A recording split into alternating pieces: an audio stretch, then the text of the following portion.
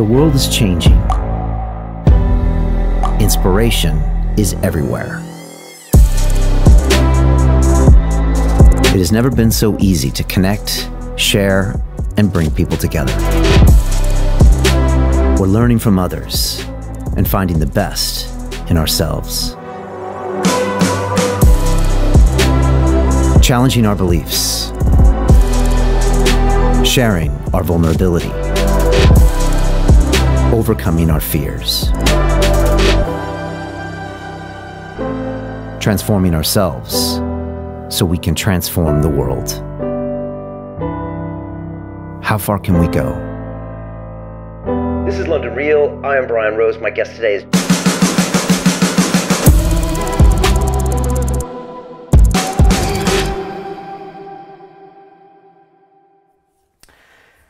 This is London Real. I am Brian Rose. My guest today is Grant Cardone, the best selling author, entrepreneur, sales guru, and motivational speaker.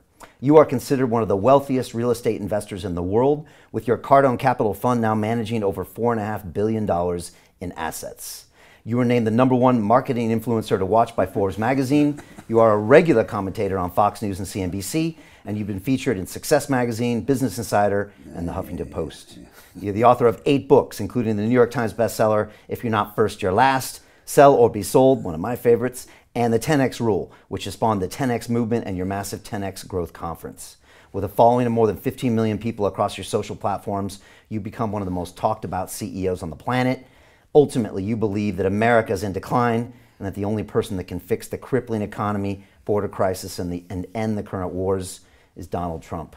Grant, welcome back to London Real. Thank you, man. Thanks for having me. And some of that is a bit taken out of context, okay? Yeah, okay. I didn't say Donald Trump was the only guy that could say Okay, all right. I don't know who said that. That, that wasn't me saying that. So, All right, well, we'll jump into it and clarify. Yeah, yeah. Um, also, I don't think I'm the wealthiest real estate investor in the world. I was checking that, I would like that to be true. Okay. And it will be true at some point. I mean, our goal right now is to become the largest single uh, property owner in America and do it with uh, partnering with individuals, regular people, not with Wall Street. Right, and you got over 14,000 people right now? We have 12,440 units, 14,600 investors. Okay. We've distributed, we've raised 1.2 billion and distributed back 300 million Okay. to that 1.2 billion. And you want to become the biggest in the country? We will become. You will become. I will become the largest uh, real estate owner in America. Okay. I will be bigger than BlackRock? the institutions. Okay, I love this. And I will do it with regular people. This has never been done before scale, ever. It's like democratizing real estate or The- real estate investment. institutional quality assets. These are assets that life insurance companies, a MetLife or New York Life or Lloyd's would invest in that we buy from institutions. By the way, we're going through this unbelievable correction right now. This is the biggest correction of my lifetime. Of, of real estate. It's a Robin Hood correction where, where the institutions now, like in 2008, it was regular people that lost homes in America. This time, it's going to be the institutions that have to turn the keys over, and individuals can go buy these properties. Okay, I want to drill into that. How big do you have to be to be bigger than BlackRock, for example? Mm. Well, if I get to 120,000 units, okay, 10 times, 10x what I have now, Okay. I, I, I become the, the largest apartment owner. Okay. But I think um, that would be that means I'm worth forty. The, the, the business would be worth forty five billion dollars of assets. Yeah. I think I can go well beyond that. And that would make you the biggest. Oh, I, I, I think I could get because of my audience, okay, and because of what we're doing, and because of the way we do it. We distribute cash flow every month to our investors. People love this, man. Um, I haven't even tapped into like the millionaires that are being ignored the doctors, the chiropractors. I was on the phone with a guy yesterday, yesterday over the weekend. He's worth $12 billion. Heard my ad on CNBC or Sirius Radio, one of the channels. Might have heard it on your show. and uh, he says, Grant, I just want to know, he's worth 12 billion. If I gave you his name, Michael, Oh, okay. Yeah. Okay, I probably know. Junk him. Bonds. Yeah. Oh, okay. Oh, yeah. Of course, Mike. So he says, Is that ad working for you? And he's like, I have an idea, Grant. I have an idea where you could raise uh, $2 billion this year in cash. and have your fund. We have 23 funds now. We would go to the marketplace with those funds. We would basically become an institution Okay. Wow. with retailers basically buying in with me at that that first level. Okay. Well, Milken's the real deal. I mean, you know, Yeah, he's the real deal. he's a legend, and he he transformed industries. That's what he was Yeah. known for in Yeah. junk, right? Yeah. So, Yeah. well, let's talk about this because you. Sure. I didn't mean to jump off so heavy. No, but this is in- important into because that, you know. you were the very first mover in this concept where you went directly via your social media platforms Yeah. To investors and you built this massive real estate portfolio by going like direct to consumer. This had never been done before. Yeah. You even said the guys on Wall Street are like, what the hell? How is this possible? They didn't even believe you were yeah, doing it. Yeah, But you did it. no, it. They think I'm a joke, dude. They, they think I'm a cartoon figure. Well, but when they look at four and a half billion, they can't say that's a cartoon. Man, it's not a lot of money to them. Like, Okay. like these guys are, you know, these are true. Tr- MetLife, for instance, that nobody ever talks about. They, they have uh, MetLife's probably got 890 billion dollars of assets. Okay. Fidelity has 7.7 trillion. That's where I want to go. Okay. I want to go play in the in the in the in the world of teas All right. And change the Yeah. whole model. and change the model, right? Because rather than, rather than me sending my two hundred dollars to Fidelity, that's how they became a uh, or Charles Schwab. Charles, Charles Schwab's probably I don't know two or three trillion dollars under management. What he did was he just made it very easy for people to invest. Say, send the money, we'll put it in a whatever ETF, which is basically just a garbage dump of stocks. And um, if people really understood the truth, like Warren Buffett's never invested in an ETF, okay? Not, not Bogle, the guy that created Vanguard, he never invested. He would never ever invest in that, but he created a paper product that people could send 50 bucks to or 100 bucks to or 200 bucks to and people think, "Oh, I'm invested in the stock market." But you can't get the money out for 30 years. And I believe 30 years from now taxes will be double what they are today. So why would I want my money taxed twice when I retire? So what we did, we created that platform and say, hey, take your retirement money, put it into this real asset, not a piece of paper, this real asset that distributes cash flow now, right now, not 30 years from now, that you can live off of, improve the quality of your life, buy a car, rent your place, buy a home, whatever. It, it, it supports people in, in their payments. Okay. And people are responding to it Obviously. you know, and the J.P. Morgans and the Goldmans and the, the Wall Street guys that you know, they just basically ignored retail investors. Yeah. Well, this is the problem. It's called the innovator's dilemma. I worked in Wall Street for 15 years, right? That's why I'm in London. Uh-huh. I came here to do credit derivatives uh, with all the institutions. So my clients used to be Goldman Sachs, JP Morgan, and on Wall Street I traded derivatives. So I know that whole business. And funny enough, Grant, now the last three years I've gone in to crypto. What crypto shows you is how much the banking system rips out of the economy. Yeah. Between six and eight percent of global GDP is taken, stolen Uh-huh. from banking institutions. And I always tell my students, and you don't even know it, right? They take it from you and you don't even know it. Right. And it's all basically a racket, is Wall Street. It is a total that. racket. It's a total racket. There's a lot of I mean, rackets out there. there's some simple indications, right? When you drop off money at, let's say, a bank, first of all, you, you, you go there, they're open at 9 o'clock in the morning, they're closed at 5 o'clock. Most of the day, they're closed. You can't really get anything from them, okay? You drop the money off. You can't get it on the weekends. If you're using an ATM machine at 4 o'clock in the morning, you know it's not good for you. Uh, you, you're, they, say they're going to pay you one or two percent, but the truth is they're going to charge you over one or two percent just to keep your money at the bank. You, you don't make any money. It is a complete racket. right. And they don't give you your cash when you want it back. Yeah, if you want your cash, if you go in there So hard. 72 hours later and say, I want my 100 grand back, you cannot get that 100 grand. You're going to probably wait three days to get it back. Yeah.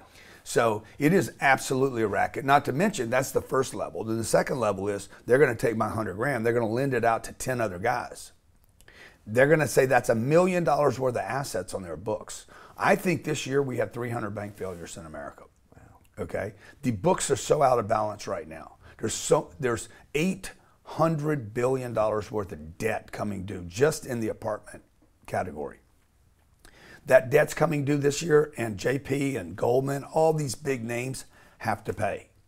And so banks are tied to all that. Pension funds are tied to all that, and it's going to create a big, big. It's going to create a big opportunity, but in the meantime, it's going to create a crisis for a lot of people. All right. So we're going to see big defaults like 08, but not from the consumers, but from the institutions. Institutions, and that's going to require more printing of money. Uh, the U.S. The U.S. is like 34 trillion dollars in debt. It, I think I saw something earlier this morning where we literally need another trillion dollars what was the number? Was it a trillion? Yeah, another trillion every 100 days Okay. to service debt.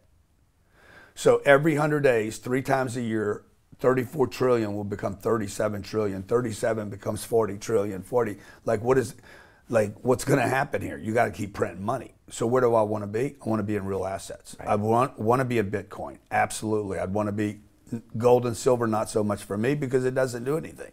Right. Like I, I, I don't get it.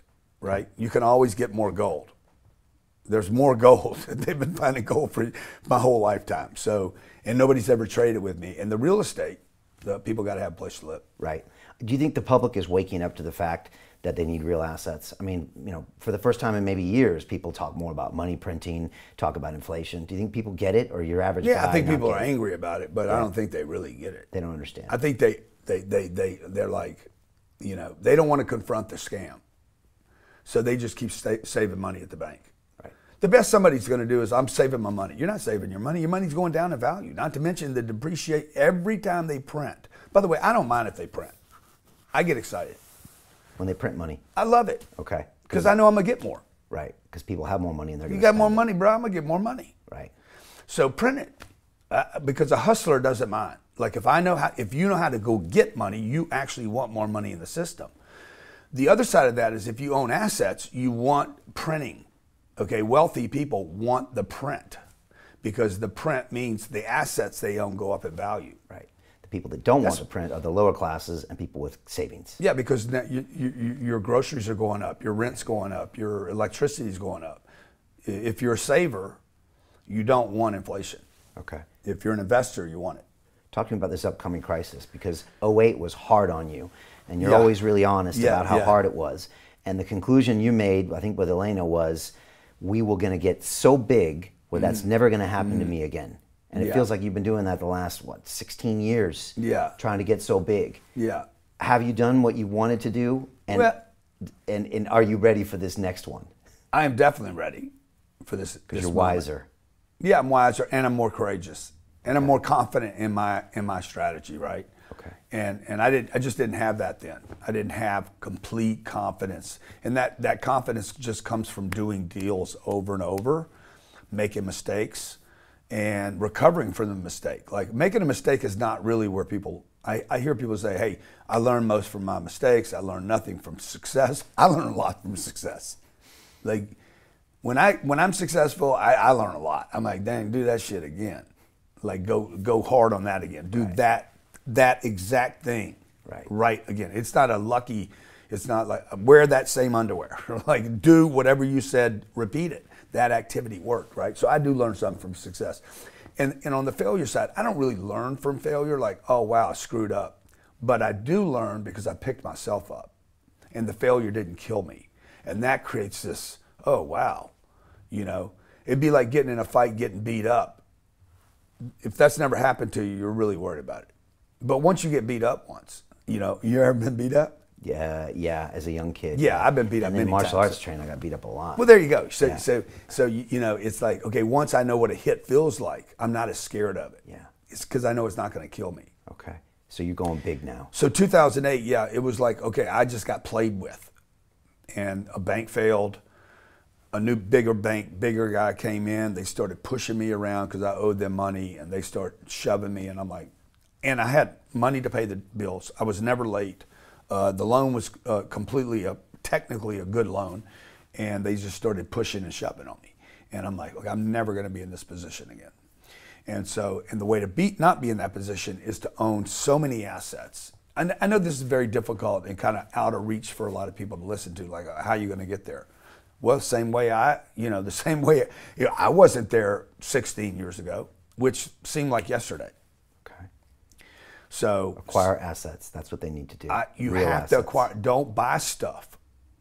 Don't buy stuff. Okay, buy assets, and and own real buildings that you can control, or a real business. The buildings are better because the business is going to die. Okay, right. But the buildings won't. Is it true you make yourself broke now every single year or every single Yeah. quarter? Yeah, I do. You take any extra cash you got and you put it into things you can't touch. Uh, yep. And then you got to start again. I'm I, I, I'm into illiquidity.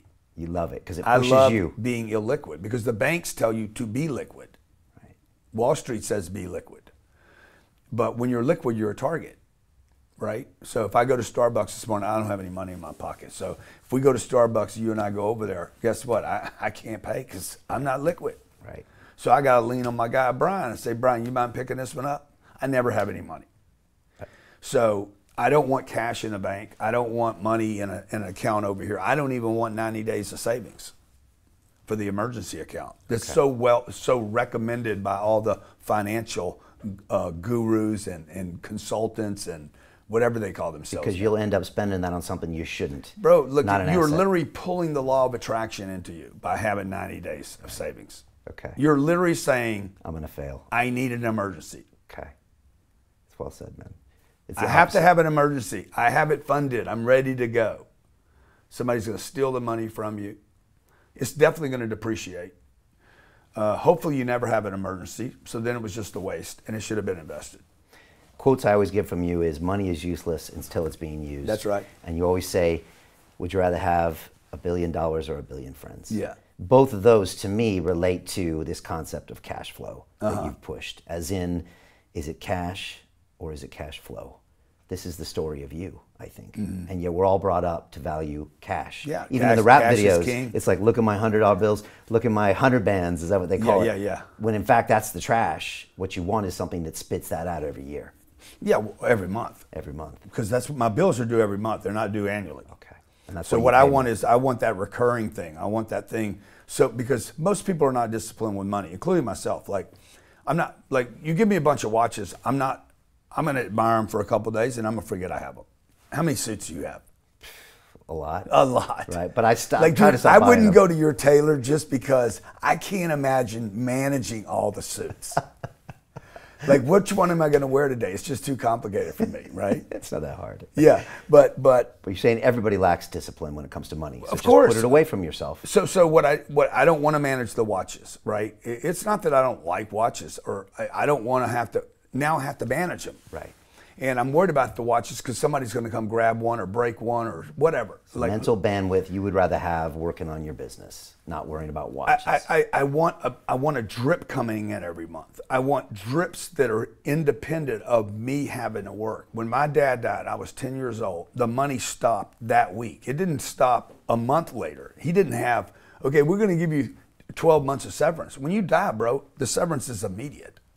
And so the income stopped. And when the income stopped, I saw my mom transform. I didn't know what I was seeing at the time because I was only 10.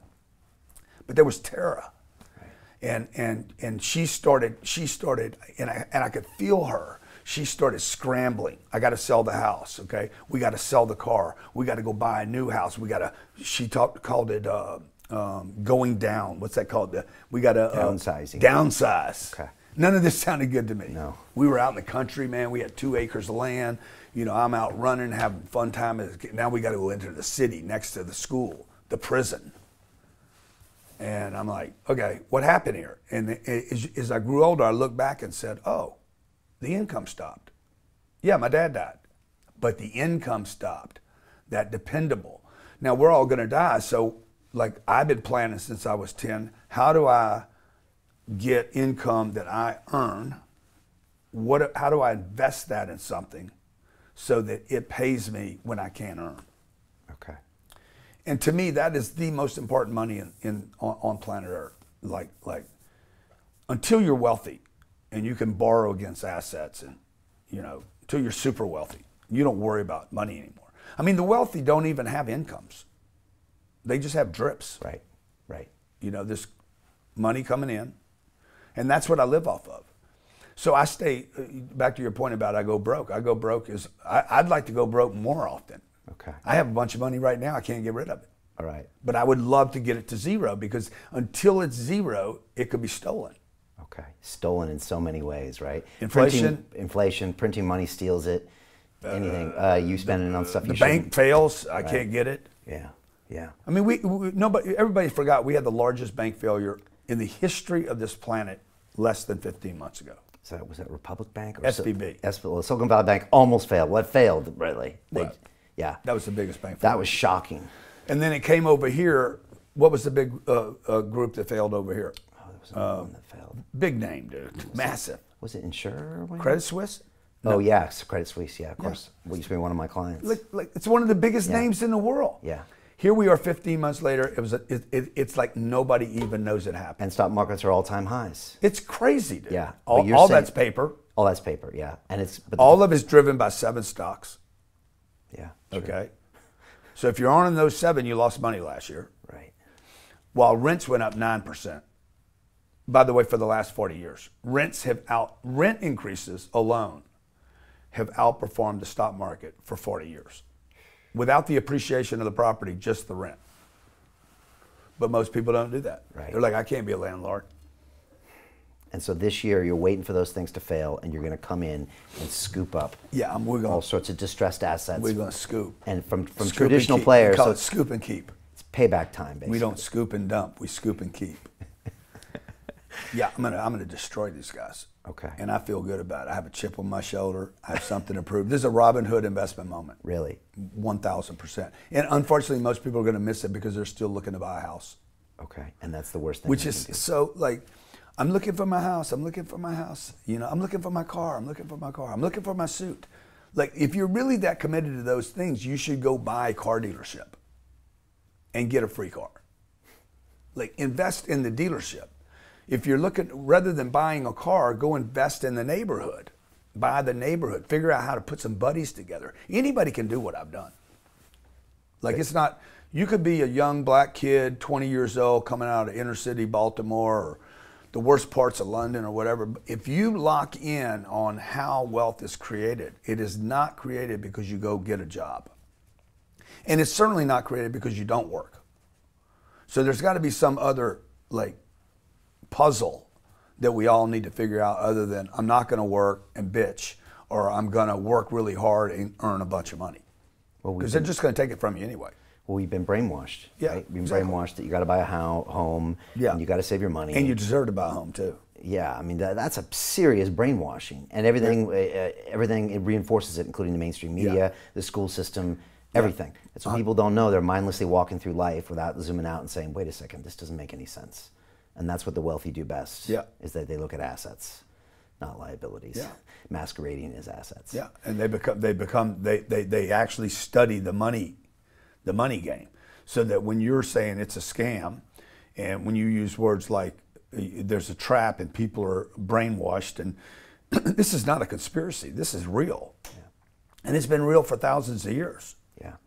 Yeah, or at least So that's why I always like coming here because you're you're so woken up, not woke. You call me woken. woke? Do you think you can pull this off, or will the system ultimately try to shut you down? Is it trying to shut you down, or are they not that smart or coordinated? Well, first of all, in the beginning, what they always do is ignore you. Okay, this is the most painful part of the process. It's not. It's not the rejection. It's the it, you, they ignore you. They mistreat you, and that, that hurts a lot of people. You know, I know I've always been ignored, always been, you know, underestimated or, you know, misunderstood, or, and and part of that is my fault, right? The way I present, but you know, some people just fail, like they just stop because of that, because they never could get the attention. And then other people are like, oh, I'm going to do something different here. I, now I really have a reason to get their attention. So, like what the, these institutions that we're dealing with, we don't sell assets. Like I have enough right now, I could go to one group and say, here, but that would feed them, right? That would that would give that would then they throw me away. So like I don't use them for money either. I don't go to them and say, "Hey, can you give me let's partnership?" Because if I do that, I feed them. Okay. So what I do is I starve the beast, right? And what I do is I accumulate the things I know they want. They're basically a target for me. So they're either a target that I'm gonna sell to in the future. They like big meals, as you know, Right. Big giant meals. Right. The bigger, the better. They want to take down a huge chunk of assets, and Dude, you'll they- have that in the future. These people think so big. Yeah. Right? They're, they, they think in trillions. How do I take trillion dollar bites? I think BlackRock is trying to snuff out Blackstone right now. Really? That's what I think's happening. Okay. Because they could take, they could consume the whole company if they could put enough pressure on. 'em. So um, I was just saying, so so I can't feed them and I can't do business with them right now. So what I do is I buy their assets. Now I didn't know this moment was going to happen, which means the institutions were going to look up in 2024 and say, we have a problem now. We have a 2008 problem. Hmm. And it's bigger than 2008. Now, my biggest concern, Brian, is that they're going to, it's so big. It's coming due now. You're going to start seeing it in the paper. You'll see it in the Wall Street Journal. You'll see it in Barron's. All this debt's coming due. I think it's so big that the federal government could step in and say, hey, look, extend everything for everyone. Because this isn't Mr. Smith and his wife that have a loan due of 400 grand. Right. This is, this is, uh, Goldstone, I'm making up names, Bluestone, uh, Yellow Man, like these are these are the biggest institutions in the world that have hundreds of billions of dollars of debt coming due right now. Right, just like they saved Silicon Valley Bank, they'll save these other ones somehow. Or, I mean, there's just not enough liquidity to buy all this. Okay. Do you need to raise because money? once, let's say a group like um, I'm trying not to use names so yeah. I don't get in trouble with these people because I'm going to do business with them at some point. Okay, all right. Big uh, institution. Uh, big, big, giant institution. Yeah. Okay. the moment they mark down 10 deals of their, let's say, 30,000 deals, which they would have, I have 39 deals. They have 39,000. The moment they mark down 10 deals and dump them, they have to mark down the rest of their book. Right it becomes a contagion right. that is so massive. And once one company marks down, their neighbor marks down. These guys, as you know, they're all connected. Yeah. That's why they all are in the same location in New York because they're passing books, passing assets, working deals out. Unfortunately, pension funds get affected. That's the average everyday person that trusted their money at CalPERS or wherever it went to. Banks will be affected. There, we have 30, uh, what do we have, 37, 40, 4,700 banks in America. Uh, what do you have here? It's like a thousand, maybe yeah. 1,500. Yeah. yeah. We've never had three bank failures only without it, without it swelling to hundreds. And, and so I think that that's what happens now. And, and the government could step in and just say, you know what, just add a couple years to everything. Okay, would that mess up your plans? Oh yeah, that fuck my plan. Okay. Now, where do you get all this capital from? Because you might need billions and billions or tens of billions yeah, of dollars to my, scoop in. From my friends, your network, from the people that love me on uh, on social media, okay. and, and that don't want to. They want to. They want to be involved in the real estate game, but they don't have the time, the energy, the inclination. They don't want to manage. They don't want to evict people. Okay. They don't want to go negotiate these deals you know? And so we buy these big massive beautiful unbelievable well located buildings from institutions. I buy the deal and then i open it up to my audience and say you want in? And they're hungry for more. Your audience. Oh yeah they're, they're i just need to tell more people about it. Okay. And i'm raising more money right now than, than we ever have. Okay for cardone capital right? Yeah for cardone capital. Okay. Now the institutions can't raise money right now. It's interesting isn't it? they can't raise money uh, they can't match. They can't meet their their distributions. Our distributions are up, not down. They can't do redemptions. Okay, and what's happened here is these these giants all play with giants. They've been ex- very exclusive. Okay, I'm democratizing to an audience that needs it, and they were exclusive yeah. and basically preyed on one another for the deals it excluded guys like me. Wouldn't even talk to me. Wouldn't return my phone calls. It's just Goldman and Blackie and da da da. These these big giants just passing the monopoly board. You couldn't even sit at the table with them. And guess what?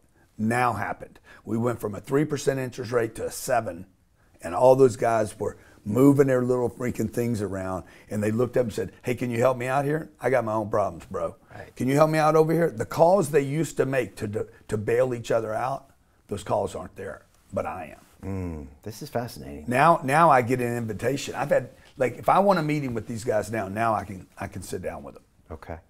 So you just had a flashback to me. I did a small version of this three years ago with something I called London Real Ventures. Now we were looking at the crypto market, mm-hmm. which did really, really well, and all of the big VC players all because they talked to each other. They invested in the FTXs of the world and all these multi-billion dollar things that crashed. Yeah. Now, I was a smaller player. I couldn't get access to that, right? And so when the market crashed, I had a bunch of my people. I got 100 of my hardcore London realers that invest alongside of me. And so when the market crashed, the institutions, they couldn't spend a dime. They were marked down 20, 30%. Yeah. They were in pain. And it turns out that our checks were the only ones in the industry. Now, my base didn't get wrecked because they never got access to those deals. Yeah. And so we invested all through this bear market, scooping up deals here and there. Wow. Because there was no capital out there, especially in blockchain for these big players. Now that it's coming back, we're in a similar situation where we bought the lows. And it's because I had a different investor base, just Right, like you, right. of these people that never got access, so they never got burned. Yeah. And now we're trying to change the game in that sense. So I see what you're doing. Yeah. Um, and this is good for people. Yes. It's Now, perfect. unfortunately, there will be people that you know misuse the system and take take advantage of investors. And but look, hey, Wall Street's been taking advantage of investors for like for so long, man. These people, the the company Brookfield, I think it's Brookfield. I don't know if Ryan's here yet, but um, they they wrote off a half a trillion dollars off their books as losses last year, and it's a, it, it's not even reported. Like it's like it's a non-event, yeah. and they're doing business the next day. They're like, yeah, that's half a trillion. All these groups that I've mentioned have no money invested in these deals. All this money is 100%, 100, probably 110% raised from everyday people that have no idea what they're invested in. You have no idea what, what stocks are you invested in, what companies. You're just funding the war machine, the big pharma machine, okay? I mean, Kellogg's is talking about you should have breakfast for dinner now. You see that? No, is that the oh, way of saving Oh, that's money? the new thing, bro. Bro, your Cheerios should become your dinner. This is, and you got to know that they had a call with Big Pharma before that. Yeah, let's get them sicker quicker. That's going to be the new program, sicker quicker, forever. So people got to wake up to this. That's why I love your show, man. Because look, you're getting sick because of what you eat. Okay, like in America, my my new thesis on America is with 800 million arms. Nobody's really worried about how many weapons that we have in America because they're just going to medicate and obesity everybody so you can't get your gun. That would be the way. That would be the way to actually calm down the most armed nation on planet Earth Gotcha. Through big pharma. Right. And then big pharma is in cahoots with big media, which is in cahoots with big food, and it, and in big, and, big banking banks. and, big, banking big banks and the government. Just listen to me, son. Yeah. Save your money at Wells Fargo. Yeah. And it all goes round. We're your and neighborhood community bank. Right. And it, it's the hypnotism in the ads. You can hear it in the ads. Yeah. Yeah. But people are waking up a little bit. A little And bit. Thanks to, to I'd say COVID, COVID. lockdown. Some people saw through the matrix. Yeah. And now they're starting to see it everywhere. I mean, people used to trust their doctor with anything they said. Yeah. People used to trust their banker with Yeah. anything they said. People used Yeah. to tr- tr- uh, trust their senators and congressmen with anything they said. Yeah. I think people are now. Wait a second. COVID was a godsend. yeah. I think COVID was a, a, a way better thing for people than people are looking at. I think you're right because they didn't succeed, and we could see it for what it was. Yeah. you could see a glitch, and now a lot of people, not everyone, are questioning everything. And now, as you go to democratize all of this stuff, that's a way of cutting out these middlemen that have mm-hmm. been there for hundreds of years, or since the Medici's. Yeah. did this in 1500s. Yeah. So I like that you're doing that. Yeah. You talked about chip on your shoulder. Yeah. You still got a chip? Sure, At 65? Of course, man. When am I going to grow up? No, probably not. Where's this chip coming from? And you always told me, you Where- said, you always said, how can I do business with you if I don't know you? Yeah. You know, and then that's all about you making enough noise to people Yeah. know who you are so they can do business with you. I mean, yeah, I think the chip is that because it's it's it's being ignored forever, man. Like like, you know, it's either like okay, I don't know you, I've never heard of you. We we came to London to do these big uh, meetings with a bunch of insurance companies. I'm on the phone with a guy today. We just flew in. He's like, man, these people know you. Well, these are insurance companies. They shouldn't know me. Is he really going to be at the meeting? That's what they're asking this guy. These are old 60, 70 year old guys in insurance. Okay. Like, these are boring people, right? Okay. I, I'm, I'm, that's what I'm thinking. I haven't met him yet, but I'm Probably imagine, watching this now. Well, no, the meeting. I'll do the meeting and then they'll see it. But but they know me. Like th- th- there's no way that doesn't help me. right. Right. Now, unfortunately, 16 years ago, nobody knew me. Okay. How do these on- guys know you? How's a 70 year old? I have no clue. His kid. level, his kid, yeah. I don't know. I'll find out in the meetings. Yeah. But that helps you. Yeah. I think it helps me. it does help you. There's no way I go into a meeting a little known, even misunderstood is better than not known. Definitely. Yeah. And again, I took a I took a, a bunch of pages from your book. You know, Yeah. I learned a lot about this. And now when I go into my deals, they've seen me running for mayor. They've seen me doing this broadcast, and it But- makes everything. 20 times easier. Yeah. Oh, blah, blah, uh, I'm chatting away. Oh, by the way, I, re- I really like your content. Or I saw you do this Yeah. or whatever. And then all of a sudden. Even even even if it was negative, the first impression was negative. right. It tends to benefit me Right. Okay. because then they're like, "Oh, dude, like you're a nicer guy than I thought you were." It's all part of your grand plan. at the uh, end I, not really, not really, dude. It was just a push and shove. Okay. It was just okay. They ignored me. Okay, I need to try something else or go talk to somebody that does know me. And then, then the chip, you know, like the people that know me, I was, uh, I had a guy text me two days ago, and he's like, he sent me a picture of my plane sitting at my at the airport where we park our plane, and he pulled up next to me. So, and he's got a, I think he's got a 550, and he took a picture of the plane. He's like, man, I am so proud of your success. Well, he remembers me, bro, when I was 30 years old. I was hustling him for a $200 product. And he was he's the son of a car dealer. They extremely successful. And he'd been watching me for 30 years, flying commercial on Southwest Airlines, sitting in the back, working car dealers, working at 10 o'clock at night, calling on these guys, being mistreated by these people, being ignored, being rejected. And then he pulls up to my plane the other day and says, Wow, dude. I mean, the beautiful thing about, for me, like the most exciting fans, if you will, that I have are the ones that saw the whole journey. Right. Right. You know, because him, him and his family ignored me. They ignored me. They rejected me. They turned me down. It's cool now, but They should have back then. uh, no, they should have listened to me. I could help them. I could have helped them even then. Right. Like I had some good good stuff to, to share with people. Right. So, but um, everything was about a transaction then for me. Like I was hustling transactions. I even used the word hustle. It was a hustle. I'm trying to get money, man. I was literally like, it was clear. It was on my face. I'm a, I was a predator. Like, like I was in the hunt, trying to prepare for my, to take care of my family or my future family that I didn't even have yet. Right. And so it was a hustle for me and a grind. And they could see that. They could feel that coming off of me. It was very, very transactional. But fast forward 30 years, I'm transformed into a different person to not just being a hustler, but finally an investor and a proven businessman. Right. And that gives me a lot of satisfaction. That's- Okay. You like that more than anything. Dude, that, that's better than the money. He saw what I did. Right. But nobody sees what you do. Very few people know the whole story of Grant Cardone. Yeah, that's true. And now you're bigger Because they come in late. They come in late. Look, I didn't even know the story, and this is true story here. Six years ago, you came on my show. Uh-huh. It was like June 18, 2018. The night before, I look at my team. I said, "Who the well, who the fuck is this guy? Yeah, we yeah. got this guy with the stands on top of his plane. Yeah, na yeah, na na yeah, na na." And you roll up and you sit in that chair. I, I kid you not, Grant. 14 minutes in, you're talking about 25 years old, drug addicted, getting beat up by my dealers, all this lowest of the low. And I was Yeah. like, this guy is as real as they come. Yeah. This guy's paid the dues. This guy's been through the journey. Thank you. Thank you, bro. And I was just like, man, I was like, man, I literally had never flipped that quick on somebody. Wow. And I thought, wow, um, this guy's the real deal. He's London real through and through. And then a year later, you came back. We talked again. We talked to Elena. And ever since then, I'm just like, you guys are, are out there repping all the time. Yeah. And yet, because you try to get your image out there, most people's first impression is this guy's brash. Because if it wasn't, you wouldn't be doing enough. Because Yeah. that means you get more exposure. Yeah. And so, along with your now success, you get haters. Yeah. Yeah, we get a lot of haters, man. Now, you once said So let me, me, let me just go back on that because in the beginning you don't know how to get attention.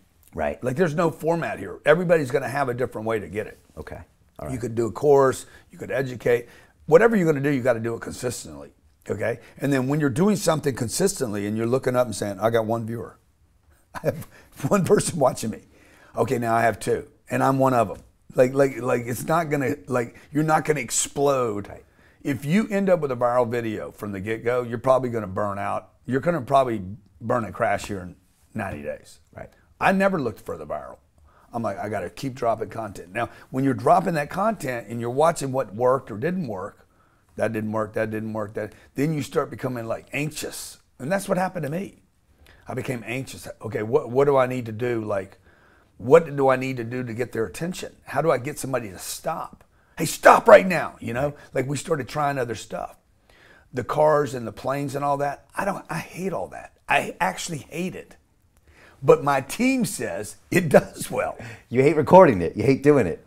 It just feels like look at my shit. Like like it, that's not really who I am. Okay, I, I'm not that guy really. I believe you, Okay, I do want to be seen. Yeah. I do want attention, but it's not. I don't want attention for my car that I own. You know. You want attention for your accomplishments. Yeah, 100%. That's Okay. my love language. But you know that the attention comes from flout, flout, flouting the bling. That's Uh, even people's attention. controversy, Right. You know, Right. Uh, even arguing with people, like like some of this stuff is just creates uh, uh, uh, it, it creates polarities. And okay, I want to be on this side or that side, Right. but at least they'll remember what side they're on. Yeah. Maybe it's not my side, but they'll remember my, my name now. That's why I said sometimes walking into a meeting and they think I'm brash and arrogant or show off, and then I walk in and I'm like, wow, man. I remember the first time I met Donald Trump. You know, I, I was a fan of his, but I'm not a fanboy. You know, um, but when I met him, I became actually like really liked him because I didn't know how, how, how much he actually cared about other people. I didn't know that until I met him. And he was interested in me. You, you're never going to see that on TV. Yeah. He's doing. He's reading off a teleprompter, do, doing a speech to 38,000 people. And the same thing for me. The same thing for anybody watching right now. You're either you're, in the beginning. Nobody's. You're invisible. Okay. Then maybe they see you, but they don't really give you what you deserve. They throw you in a batch with a, a bunch of other people that, that have called on them, vendors, whatever. So you're just kind of the same as everybody else. And so when you punch through, they're going to either like, oh, I really like what you do. Great. Now you got to duplicate that. You got to do that a bunch of times. Or they're not going to respond to you. And you got to figure out how do I get these people to remember me?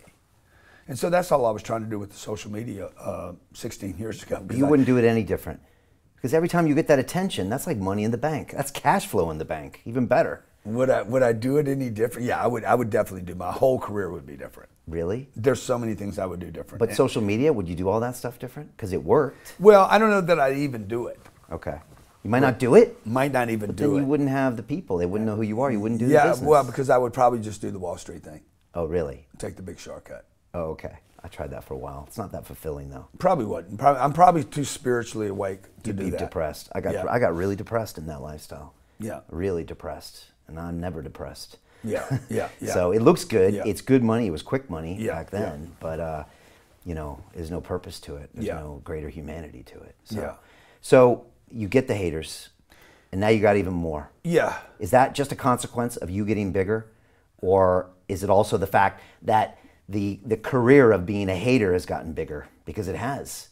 People know Yeah, know they that's can, a good they can make a six figure income by just making That, videos that's about in- that's interesting. I've never I've never heard that. Right. That that that's an interesting thing. Hater has become a, a, a place of employment. has now, Yeah, you're right. and it's probably makes them a lot more than they would at some basic starting yeah, job. Yeah. Now now that's interesting. That's interesting. So um, yeah. You once told me criticism is a sign of success. I want more. And I used to repeat yeah. Uh-huh. that to myself every day, especially when I was running for mayor last time.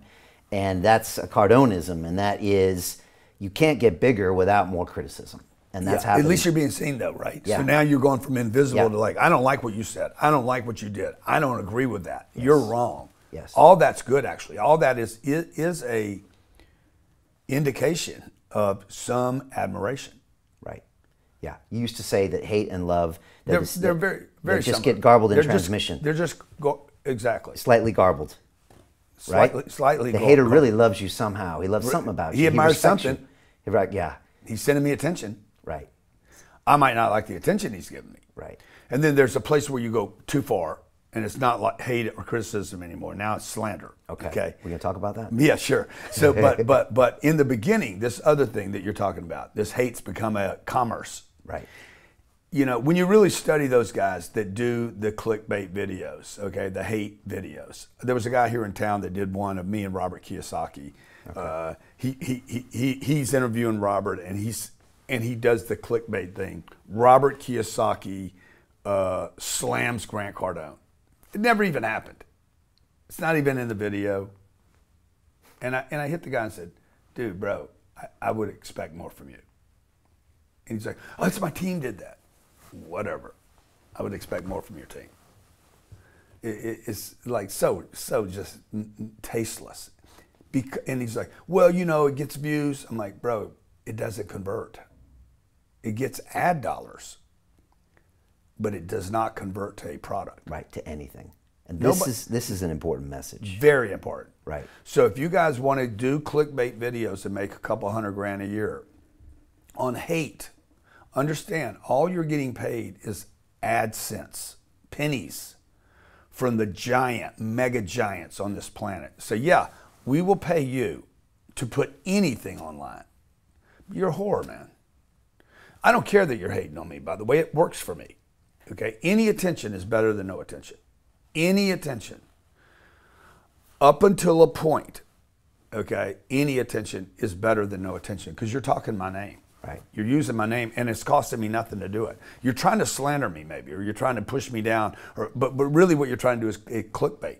Now I think what's going to happen in the future, and I'm trying to be part of this right now, is and I might be getting jumping ahead too quick, but but these this hater industry, okay, new laws need to be put in that say, okay, if you're going to say I'm a fraud, you need to include in there proof of fraud to use it in the title. Because now you're being compensated for your title, okay, which that has not been in slander rules before. You, now you're using a clickbait, a title, fraud. So and so said Grant Cardone is a fraud. You should have to provide proof that so and so is right about that fraud. Otherwise, it would become libel and slander. Yeah, I think that needs to happen. Just want to finish on this hater industry real quick because Yeah. you you said it really well. Because a lot of kids are out there and maybe they're broke or they don't want to get a job and they look at a video on YouTube and think I can do that too. Yeah. Okay, let's talk about this because this is important. Because when COVID happened and I became super famous, I had haters piling everywhere. I couldn't believe it, Grant. I had tried my whole career to get people to notice London Real, mm-hmm. right? And try to get the BBC to feature us and all this stuff. Of course, the time they feature us is when we're you know, talking that lockdown's wrong, God forbid, talking that masks are wrong, God forbid, or Right, then we get we blow up with our uh, COVID controversy interviews that were, uh, by the way, in the end, all true.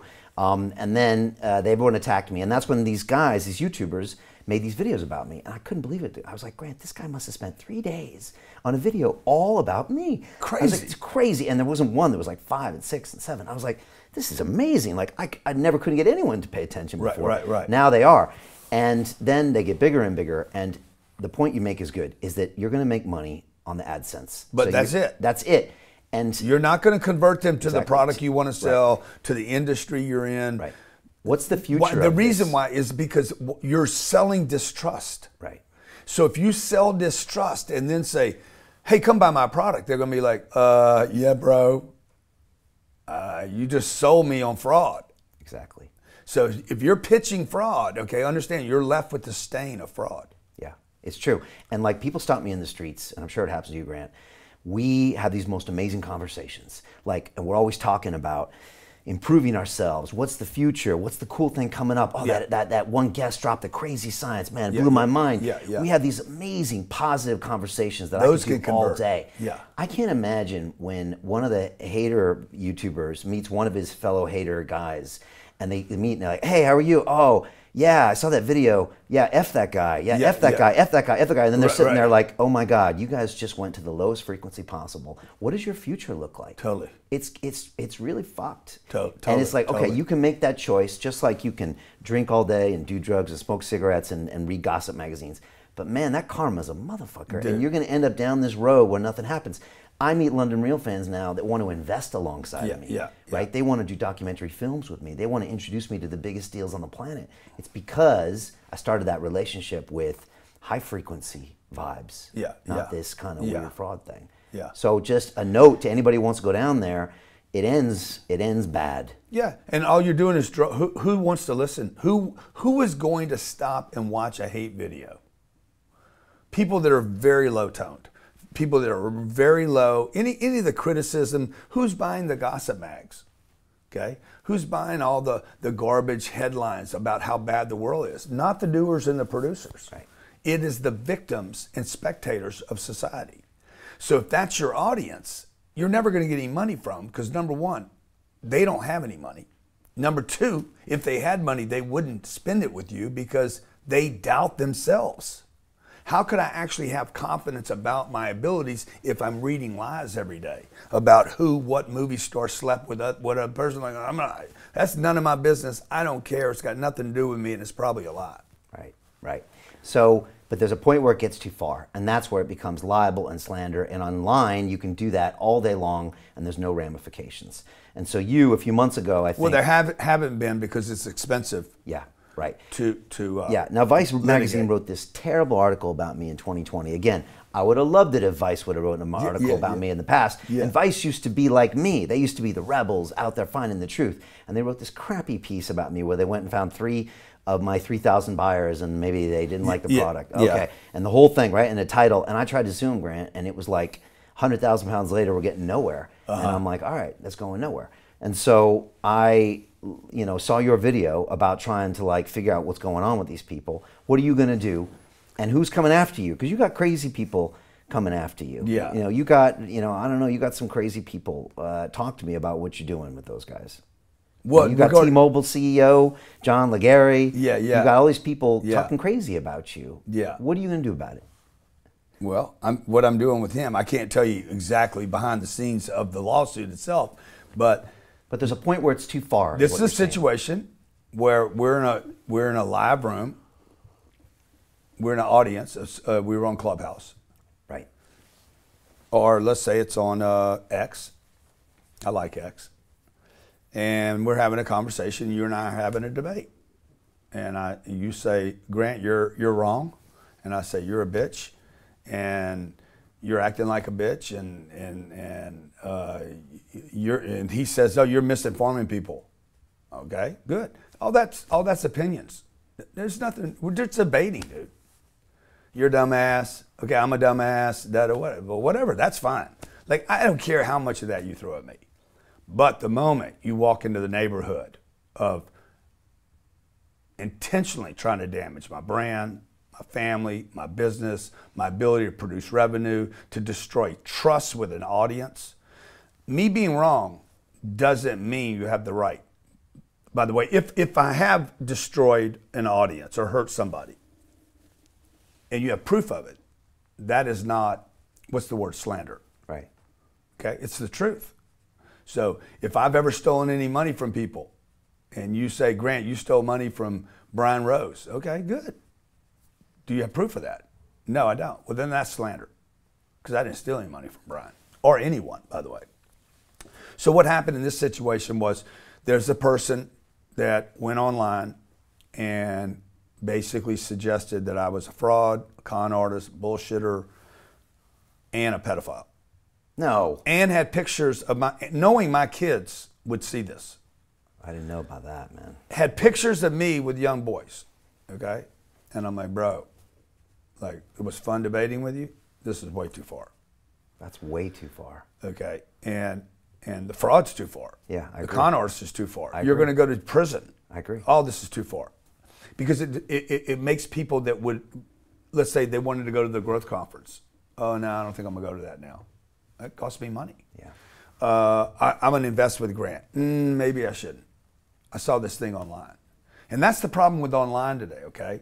Like, one, you're online, okay? Which, I'm, hey, I'm willing to do it. Like, I say dumb shit all the time, but I don't slander people. Ever. And if I do, by the way, if I go after somebody, trust me, I have some proof that I can support and say, hey, look, I have the receipts that this guy stole money before. Uh, you know, Jordan Belfort is a perfect example. I called him a criminal. He is. He's fucking, he's a criminal. I don't know how he feels about that, but I know for a fact that he's a criminal because he went to jail. Yeah. And he's a snitch. How do I know that? I can say that about him because he snitched on his guys. It's a public record. That is not slander. That is the truth. So what are you doing against these people? You suing them all? You trying No, to set a no, no, I'm precedent? not suing them all. You trying to set a precedent so this doesn't happen again? Yeah, but what, what we're what we're going to do is we are definitely going to set a precedent. Okay, this is uh it's a hundred million dollar lawsuit. It could it could become something bigger than that actually. Um, hint hint. Good. Um, uh, and it will definitely send a message to everyone. My hope is, uh, number one, I will win this lawsuit. I will be, I will be, pay, I, will be remunerated, remunerated, okay, because of this. A lot of people have been asking me, you, you don't, you're just trying to get attention. Oh no, I, this, this is not an attention thing for me. This is, this is, I've been harmed, okay. And I hope to, the bigger, even bigger thing is I hope to actually change the laws in America where this will be used as no, no, no, no. You cannot clickbait. You cannot headline because there's a lot of other people that picked this up and now have been playing games with it that also could be um, in some situations. Okay, so not just John, perhaps. Let's just people. start where let's just start with him and see where Okay. this goes. Okay, but there's You other know? people playing the same game. And the bigger you get, the more it comes. Yeah, and that's fine. I, I'm, I'm, I'm up for it. you But know? it's time to push back a little bit. But but there comes a point where, you know, unfortunately, most people do not have the wherewithal to actually defend themselves.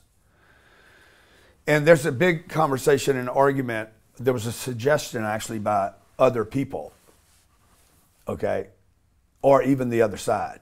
You will never do this. You will never do this. This was actually publicly said. You will never do this because it's going to put all this attention on what I'm saying about you. And I'm like, bro, look at these hands, okay? Like these hands are clean, bro. Bring it on. I'll show every. I'll open every book I have, every review I've had, every comment. I don't care. I'll show you everything I had. I hope the world sees everything, and you'll know. you- Everybody will see the exact who Grant Cardone really is. and you get that chip on your shoulder, which helps. Uh, because a lot of people wouldn't do it. They wouldn't do this. Because because they got dirty hands. Or I don't have any skeletons. or because they see collateral damage being too much. But you just got pissed off enough where you're like, this just isn't right, and I'm putting a line in the sand and I'm going after it. I just know I, I don't have anything to hide, man. I, I, I'm not a fraud. You know, I'm not a pedophile. I'm not a. I'm not a. uh, Am I a bullshitter? I mean, I, I don't think so. I, I, I tell people, hey, invest in this deal. How's that bullshit? It's a, a real piece of real estate. So, I, that's an opinion. You know, I'm not a fraud. I've never taken anybody's money. Okay, we do 160,000. We've never taken anybody's money and not given them a return. We, we, we do for the last 10 years. I do 160,000 commercial transactions every year with clients where they gave me money. We do another 16 million freebies every year. Nobody has to buy anything from me ever. We have good reviews and we have bad reviews. I have 97% of them are good. 3% of the people, we just give their money back. you know, you're not happy? Boom, here's your money back, no problem. So I- I'm happy. I'm, I'm a businessman. Okay, Amazon's got bad reviews. Like when I look at a piece of real estate and it's got bad reviews, I don't not buy it because it's got bad reviews. We raise the rent. People are going to be upset about it. Like that that happens. So a restaurant has bad reviews doesn't mean they don't have good food. Right. It means you weren't happy. Yeah. Okay. Anything more to add on the haters? Uh, no, man. Haters are good for you. You know, you're not going to want it. Nobody gets prepared for it. There's no course, or don't even go get a class on it. Okay, Most people can't handle the hate. dude, That's why they're cannot not. handle it, man. Very few people can handle it. You know, that's why so many people say, I don't want attention because you can't handle all the stuff that comes with it. But don't, you don't want to do that. I would say this you do want the haters, it's part of the game. Yeah. If you want to do something big, if you want to really help out, like all the anybody that's done anything big was ridiculed. Yeah. Steve Jobs was ridiculed. Uh, he's not a good family man. He's a monster. He's a terrible guy, bro. Like, pretty impressive. Yeah. Um, I recently sat down with a guy named Spencer Lodge. He has a podcast in Dubai. I know he knows you really Yeah, I know Spence. And he had this impression of me, a bit like some people have a Grant Cardone impression. Uh-huh. Like, who the fuck is this guy, Brian? What do you think he is? I rolled up to his place in the Palm. I'm chilling with him, and we had this deep conversation for like 90 minutes. And like Uh-huh. every 10 minutes, he's like, "Whoa." Whoa. And he was like, I don't understand why you do these things, Brian. You do this and you run for mayor and you put these controversial videos and everybody hates you. He's like, why would you do that? Why wouldn't you just, you know, stick to your show and not ruin your business? And I was like, bro, I was like, first of all, it's this is my show. Yeah. Like, this is my ride I'm on. Right, right, Everybody exactly. else can watch. Yeah. And I, I want to do these things. I felt passionate about this. I felt angry about this. Yeah. I wanted to change the city. I want to do this. And that's why I did those things. I didn't do it because I wanted to be quiet and protect the thing. And at the end of it, he was just like, man, like ah, now I understand you. Yeah. I didn't get you before because that media bias is out there for everybody. You know. Did Did you get your YouTube channel back? Yeah. No. Six months ago today. Yeah. We were deplatformed from YouTube. So So where Where do you Where do you, What do you use now? Well, we use everything else, Uh-huh. and we may or may not use some YouTube channels at this point. Um, it is a fucking travesty of justice. Hmm. They pulled things down for quote unquote medical misinformation, which doesn't make any Yeah. sense to me. And they shut down, you know, 12 years of work, uh, 600 million views, you know, 2.4 million subscribers, 14,000 views, my entire life. And 99.9% of it is content that makes people's lives better, period. Yeah, And they yeah. shut it down. Now we've been trying to get it back. Our new movie that talks about it is a great centerpiece because it puts the reflection back on YouTube. Uh-huh. But like you know, YouTube and Google are these monopolies Yeah, that are yeah. stronger than governments. Yeah. If anybody looked at the Twitter files, I can't wait for the YouTube files because they're worse. Uh-huh. And that means the government was probably complicit in breaking my First Amendment right to express myself through these technology companies. I'm hoping we get a certain president in place and he just investigates all of this Yeah, yeah, yeah. and replatforms me because this is wrong, Yeah. breaks constitutional rights. It's technically a felony what they've Yeah. done. Well. So yeah, I'm yeah, I hope you back. get it back, dude, because Me it's a great channel, Thank you, man. great value, and let people think whatever they want, as long as you don't cross the line and start saying things that aren't true. Yeah, I know. You Go know? figure. The hater videos are up there.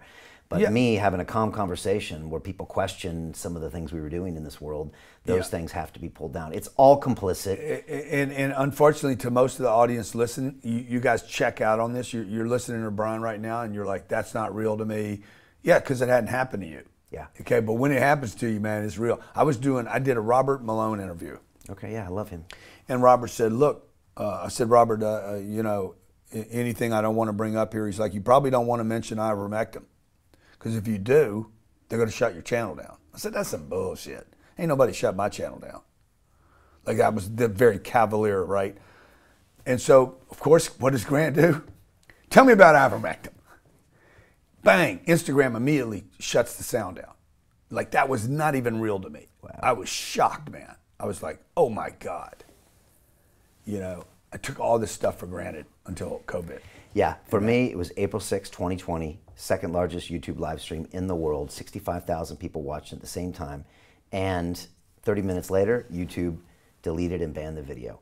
I've been broadcasting for nine years, Grant. Wow. I'd had almost a thousand interviews that had never happened to me before. And like Wow. you said, I thought the weirdos got censored, right? That Yeah, happens yeah, to the weird yeah, guys yeah, over there. yeah. It doesn't happen to me. I'm here talking the truth. I'm Kinda having a weird, bro. conversation. You're kind of weird, bro. Right, I'm a little keep bit. it But I'm not that weird. Yeah, yeah. Uncensored, unscripted Yeah. conversations. Yeah, I, yeah. I was literally talking to a 72 year old dude um, about what was going on in the world, and they got to censor that. And so then I realized, uh oh, because we were right so they the didn't edge. censor some of. They didn't take out some of them. They took out. They just wiped out the whole channel. The- on, in 2020, during the midst of COVID, they took down that video. I got and it. then anything related, uh, anything going against the World Health Organization, that reputable institution that's been right about everything. Uh-huh. Yeah, it's yeah. not controlled by a few elite people like Yeah. Gates and stuff, Yeah, yeah, or. China, Yeah, yeah. right? So if you said something against WHO policy, they would take it down. Uh-huh. And again, who said that? It's all complicit. Big pharma, big media, big everything. And then we were on the front lines in our movies, everything that happened behind the scenes. And three years later, they took our channel down completely. Wow. But we're still fighting. Bring it. Yeah. You know, we're still fighting. Yeah, yeah. So, but Good, that's. Well, hey, you live for something, bro. yeah. At least eh, when I meet people, they know that they know that we stand up for what we believe in. Yeah. Period. And I'll take that. And that one final piece with the haters. When I meet someone in the streets, they know what I stand for, and they know I can walk the walk. And my question is, if you're going to make hater videos, when someone meets you in the street, like what are they? What are Dude, they they're never going to say a word to you, bro. they're never going to be like, hey, Brian, not going to happen. They might come over and give you a hug. Man, I really like your work. Okay. Most of them are anonymous. Okay. A couple of them show up, you know, show up and show their face. Yeah.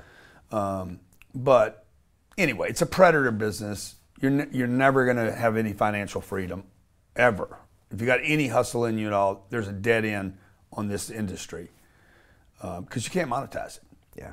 But the fact that you're standing up and doing your thing and you got cut off, you're just going to go to another place. Have you gone to Rumble? Yeah. Yeah. Yeah. Yeah. We've gone Rumble and everywhere else. And then X is making Yeah. huge, huge, huge Yeah. strands there. X has been great. Tell me about America. You recently went on CNBC recently Yeah. and said, I was looking into Los Angeles, San Francisco, Chicago, and New York City Yeah, yeah. to invest. And now I'm pulling out of all of those states. Yeah. You're looking at the country, the border You crisis. can't do. You cannot go. You cannot do business in America and assume that all of it is America. What does that mean? Like, I can't go do an event in New York City because I, I don't know what's going to happen at the event. Like, are they going to overtax me? Or are they going to let me do my event? Or somebody going to come? I don't know what they're doing.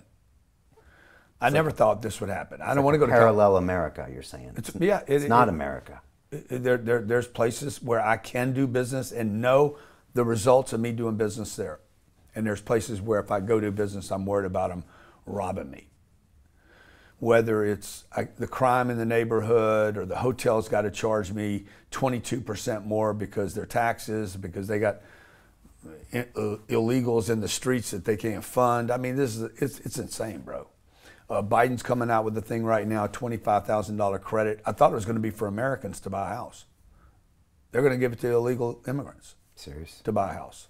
I don't know how they buy a house. They don't have a job. I can't pay them money because they're illegal immigrants. I can't hire them and pay them. So, I mean, basically, we sanctioned, America sanctioned three weeks ago a former president that is running for president and sanctioned him like they would Vladimir Putin. Can't do business in New York for three years and we want to seize your property.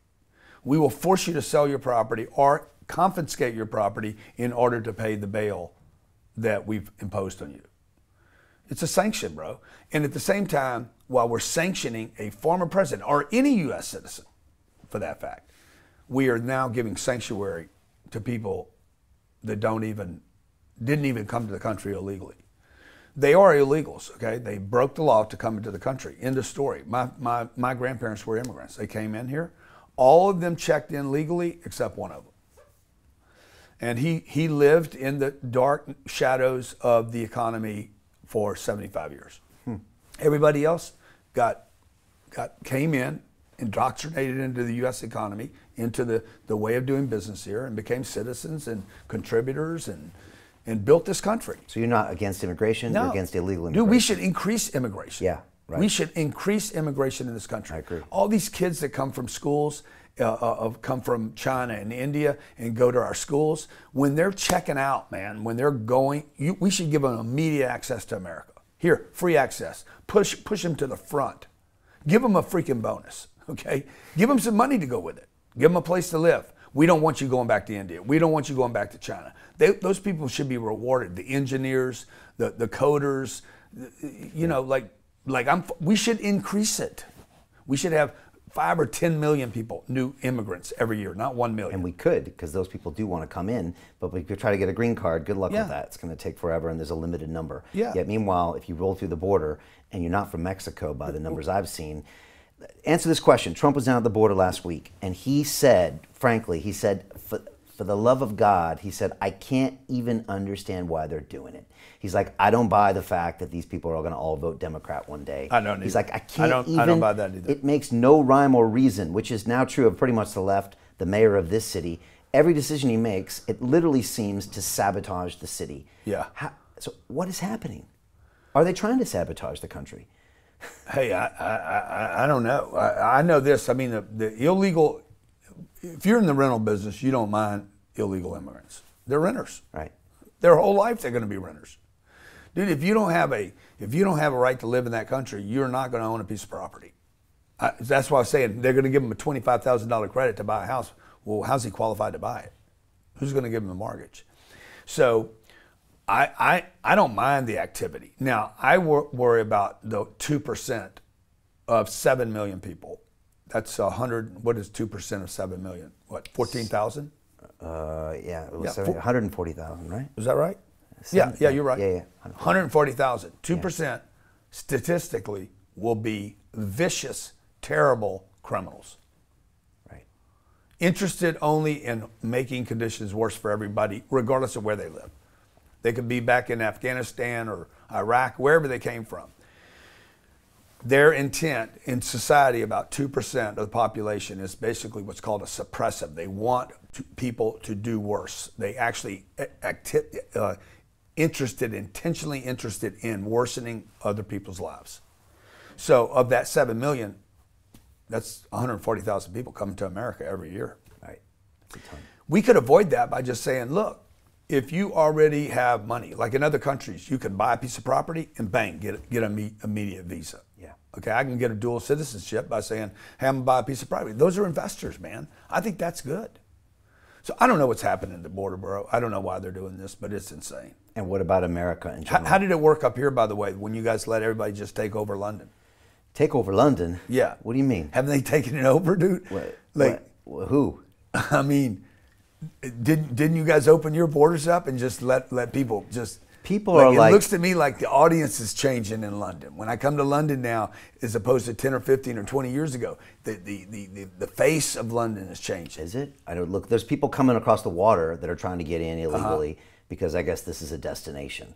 Um, I haven't seen it show up in like a massive way that Okay. I can tell. Okay. Um, Paris? although, what about Paris?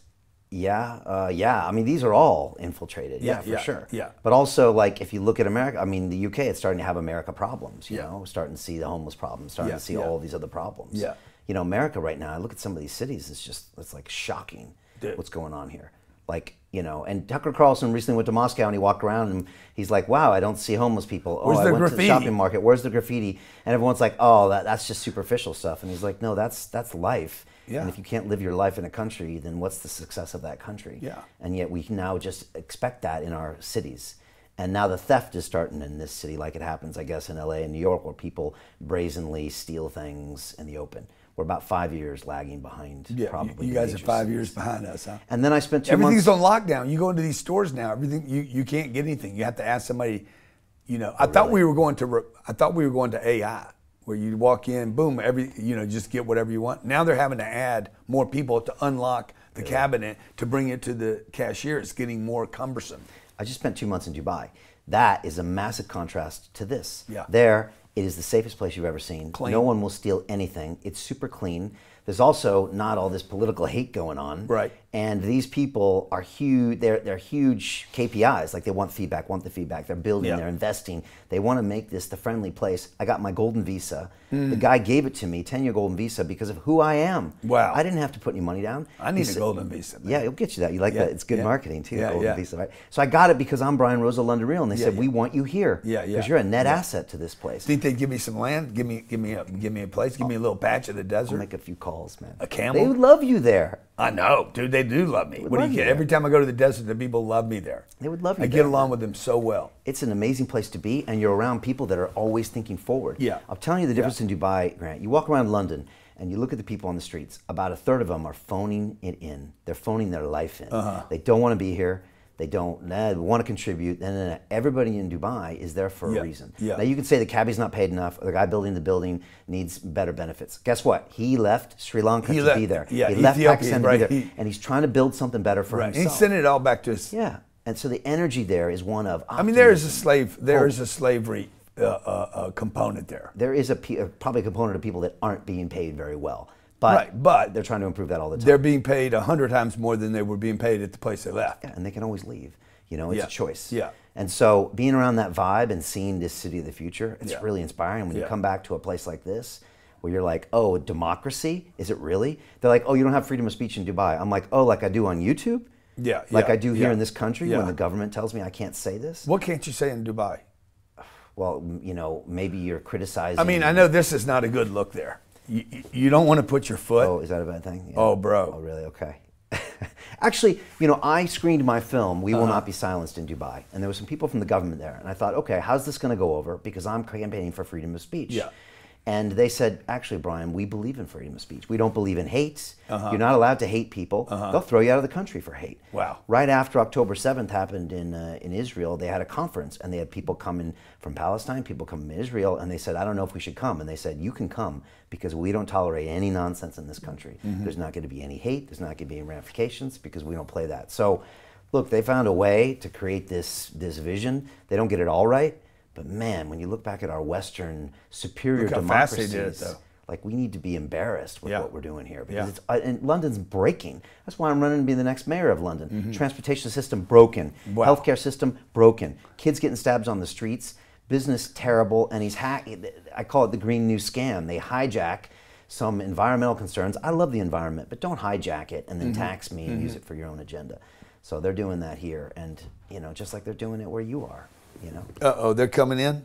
Oh, I thought they were coming in with my coffee. Oh yeah, maybe they are. Yeah. And so, uh, so that's why I'm I'm I'm pushing back here because Yeah, we should, dude. You should. You know, it'd be a great fight. I don't know how it turns out, but And you're seeing the same thing in America. Coffee break. Let's get going Yeah. here. Oh, thank you, brother. Thank you, thank you. You gotta tell me what. no, no. So yeah, what what what's happening over there is like the schools are clearly failing.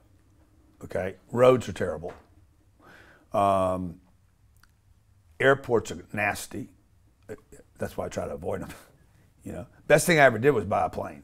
so you could avoid the airports. Like, I thought it was just a thing about eight years ago when I did it. Like, okay, it's me. I deserve it. I fly a lot. Blah blah blah. But I mean, now I'm looking up saying, man, all of this was smart for us to do. So the fact that I now have to, I can't go to Ch- Chicago and do business, or I can't go to New York, or I can't go to San Francisco because I don't understand what the regulations or the laws are, or what they're going to change. Like Illinois is trying to raise taxes, right? New Jersey's trying to raise taxes. New York's going to raise, and every time they raise, people leave. So you're having all this push. Uh, America, you know, when I was looking at the UK, how small it is. Yeah. I saw it on a map this morning. I'm like, damn, how did that much power come out of that one little spot? Dense. Unbelievable. And then I look at how big we are there, right? And so I'm like, that the negativity in some of these places, some of this, these terrible decisions by politicians in New York, San Francisco, the way they're letting their, their these beautiful cities deteriorate and be overwhelmed by other problems. The money, the, the successful people are going to migrate down to the places where, like, okay, I'll go to Miami, and that's what's happening. I'll go to Dallas. I'll go to Houston, and and that's an investor that's paying attention to this. Phoenix, Arizona, huge beneficiary of what's happening in California. Right. And so anybody that's looking at that, now if America continues to deteriorate, there's going to be a whole bunch of top of the food chain people say, okay, where else can I move in the world? And then you're moving to Dubai at that point. Maybe. Maybe. Or Saudi, or I don't know, but there's choices. 20 years ago. I don't know how you get your money out. Yeah, but 20 years ago, if I told you Grant Cardone's going to say I might have to move to Saudi, you would have been like, there's no way. And now, look at the state of the world. It's crazy, dude. You know Donald Trump. You had him Yeah. at your 10X Growth Conference, which was a huge thing a couple years ago. Yeah. Um, he's walked running. in as a surprise. What's that? He walked in as, as a surprise. It was amazing. Uh-huh. It was a surprise. You got to know him behind the scenes. He's now running. He is sweeping, you know, sweeping these primaries and votes. I had a guy on a couple months ago named Jim Rickards, really smart economist, and he said, Brian, it's, it's Trump in a landslide from what he's hearing. Wow. We got Trump against Biden. The election's coming up really soon. Like, this is critical. Um, you know Trump. Like, what, what, what is going to happen? Yeah. What needs to happen?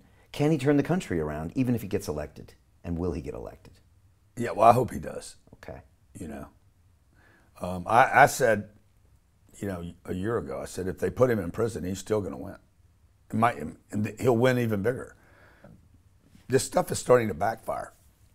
Like COVID, COVID, COVID is. We're starting to wake up because of COVID. Maybe we needed to import this virus in order for people to wake up and see the connection between the media, big pharma, our politicians, the congressmen that are making $179,000 a year end up with $140 million. You cannot even do the math on that. There's, it's an impossible uh, exercise to figure out how Nancy Pelosi, who's never been paid more than $190,000, is worth $140 million. It's, it's impossible. Yeah. So the corruption in the system, the fact that, you know, in America today, like we're the free country, man, it's a freaking great marketing program. You know, we're the freest, we're the greatest, we're the wealthiest. It, this is the best country in the world. Most people are saying that have never been any place else. Is America great? Yeah, it's an awesome place. But there's no doubt in my mind, I would be, I would have done what I did in probably almost any other place, including the Gaza Strip. Okay, this is a headline. I would have made it even if I'd have been born in the Gaza Strip because I would have left. I would have figured out how to get out of Dodge, just like I got out of my little refinery town, and to go to opportunity. So I'm not saying there's people out there that are like can't ever get out. They can, but can America get out of a situation? I don't know. Can Donald Trump do it by himself? I doubt it. But I know Donald Trump is waking people up. And do I love everything about Donald Trump? No. Nobody loves everything about Donald Trump any more than you'd say you love everything about me, right? But but so what? I wouldn't wear your suit. You would, okay? Doesn't mean I can't like you. But I tell you what, Donald Trump, dude, is a he's a he's a warrior. That guy. I think I have a pretty good work ethic. He makes me look like a chump. Explain that. His energy, dude, his energy, like his ability to work and to be interested and to be present and to go to the next meeting and not complain. I do it all too. I do all that that he does, but I complain the whole goddamn time. God damn it, I don't want to do nothing. Now he might do that behind the scenes, but I didn't see it. So the guy's got tremendous energy. This this idea that he's too old. Look, that that that that that that guy is not too old. I'd take him over a 45 year old. If you gave me 10 45 year olds and Donald Trump, I'd be like, let me take the Donald. Because the guy's a maniac. I see him at these rallies. He'll talk for an hour, two hours. Dude. He's riffing the whole time. He's having a good time. Yeah. Meanwhile, he's getting seriously prosecuted Just- in state after state after state. He's getting bad news every second of the day. Yeah, and he's laughing it off at these things. Like I've- don't know many people that can handle that. I mean, again, he worked his whole life. I had life. Don Jr. on my show. Okay.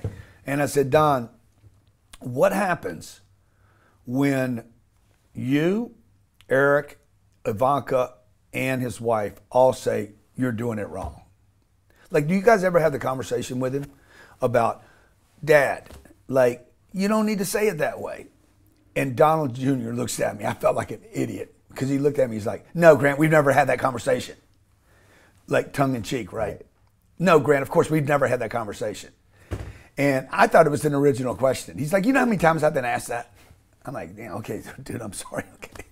Um, so, So what was the answer? They try. I said, what's the answer? He's like, of course, bro, of course. But like, he is who he is.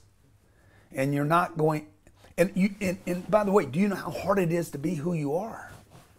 Like I told my wife this, and, and I really understand that because I understand that there's no way his family's not saying you should have said it like this because my family tells me I should have said it different.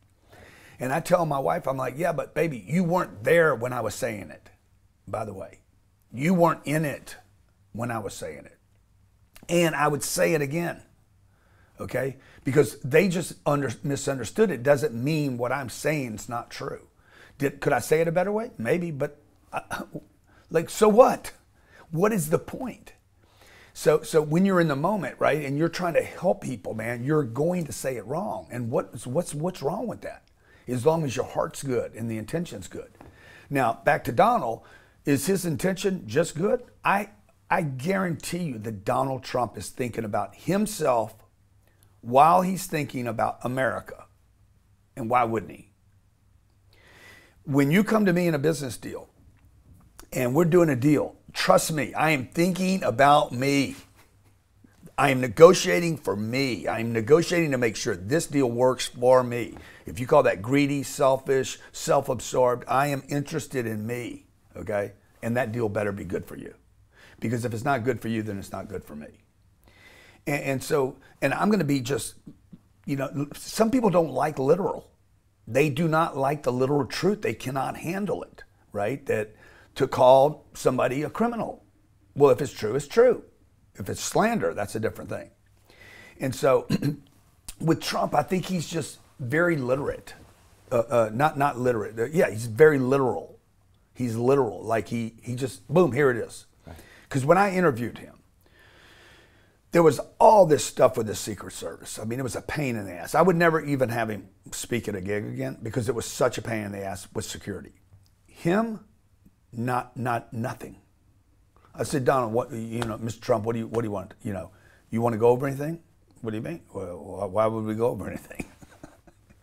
I've done Usher. I've done all these stars, Travolta, like all these stars. Most of them, they want to know. Not most of them, but many of them Right. want to know. What are we talking about? First question, second question. Third.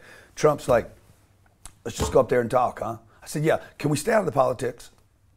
Let's just do business. That's great. Let's go do it.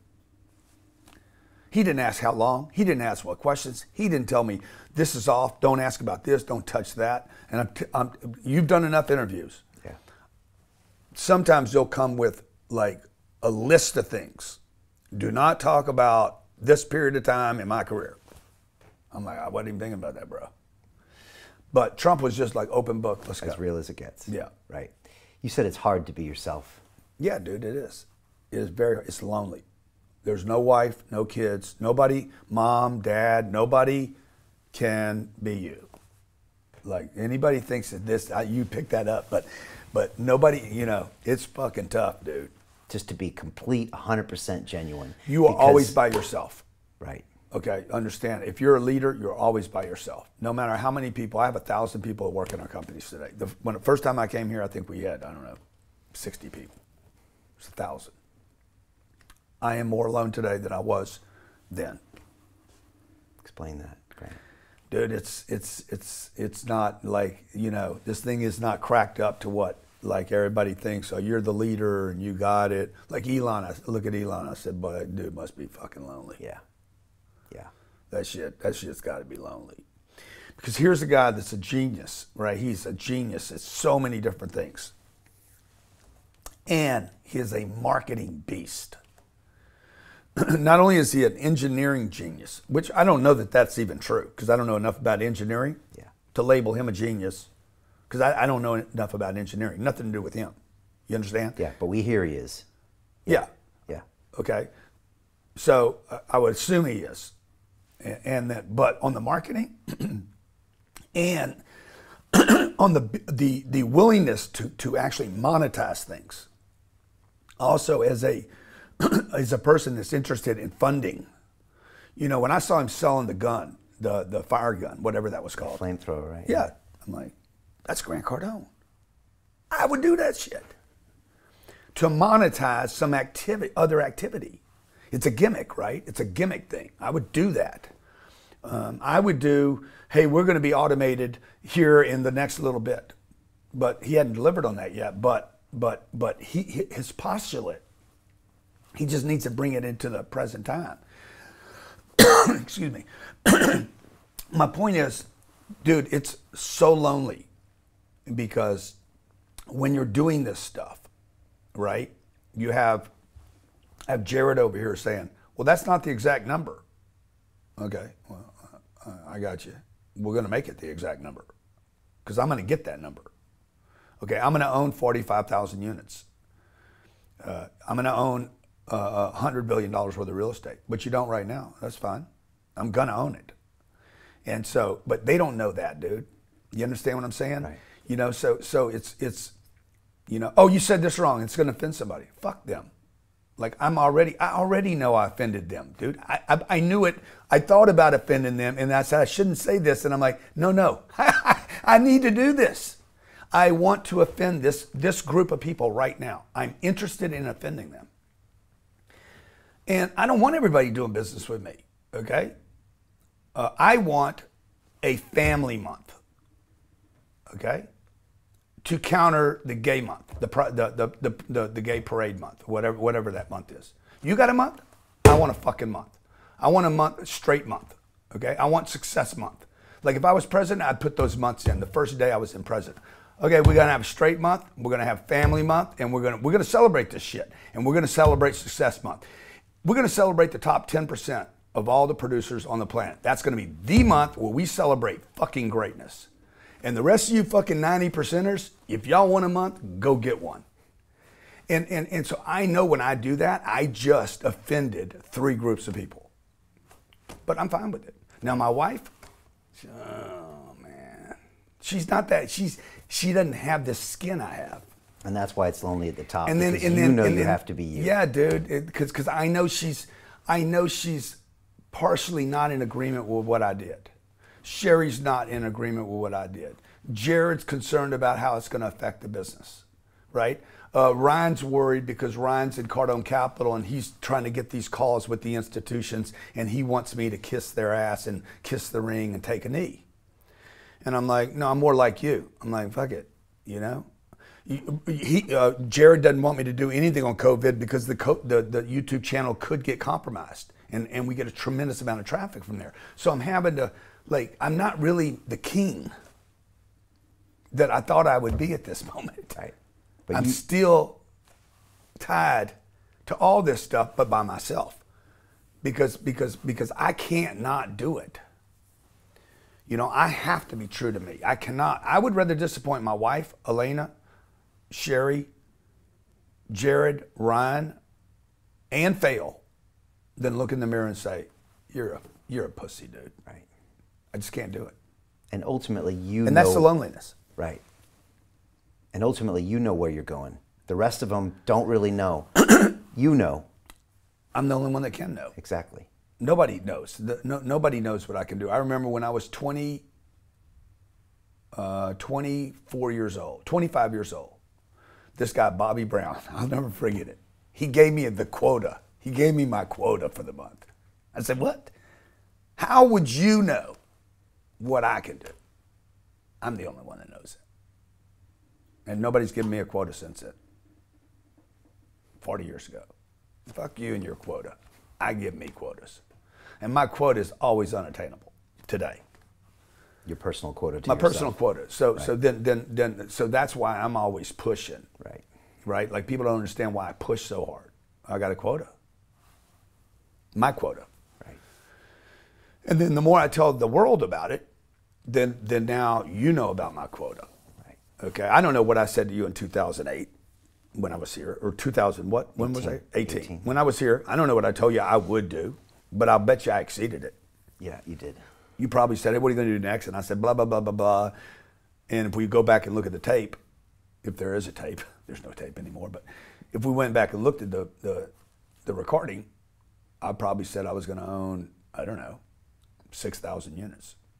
You guys need to do figure that out in production. What did I say last time? It was like a billion. A billion would have been a big thing back yeah, then. yeah. Now, now we're at 4.5 billion. Yeah. I'll do a billion every quarter this year. Okay, there you go. What what I said I would get to. Right. So you put it out there, and then that holds you accountable to that. But ultimately, you're the guy it strings me to all these other agreements, right? I get strung out.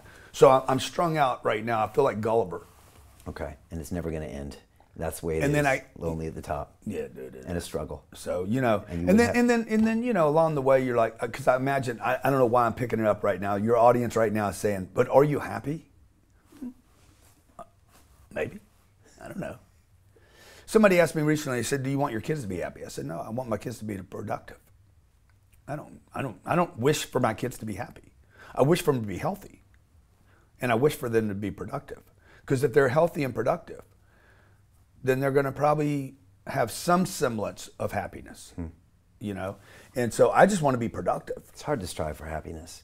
dude. It's, a It's weird. hard. It's a weird thing. Maybe the wrong thing. You know, Jordan Peterson says just to strive for purpose or strive for this, but strive for happiness is a funny one. Uh, what is it? yeah. Like how, how do how, how do I? And once I get it, it, it- how long does it stay? exactly. It's fleeting. Yeah.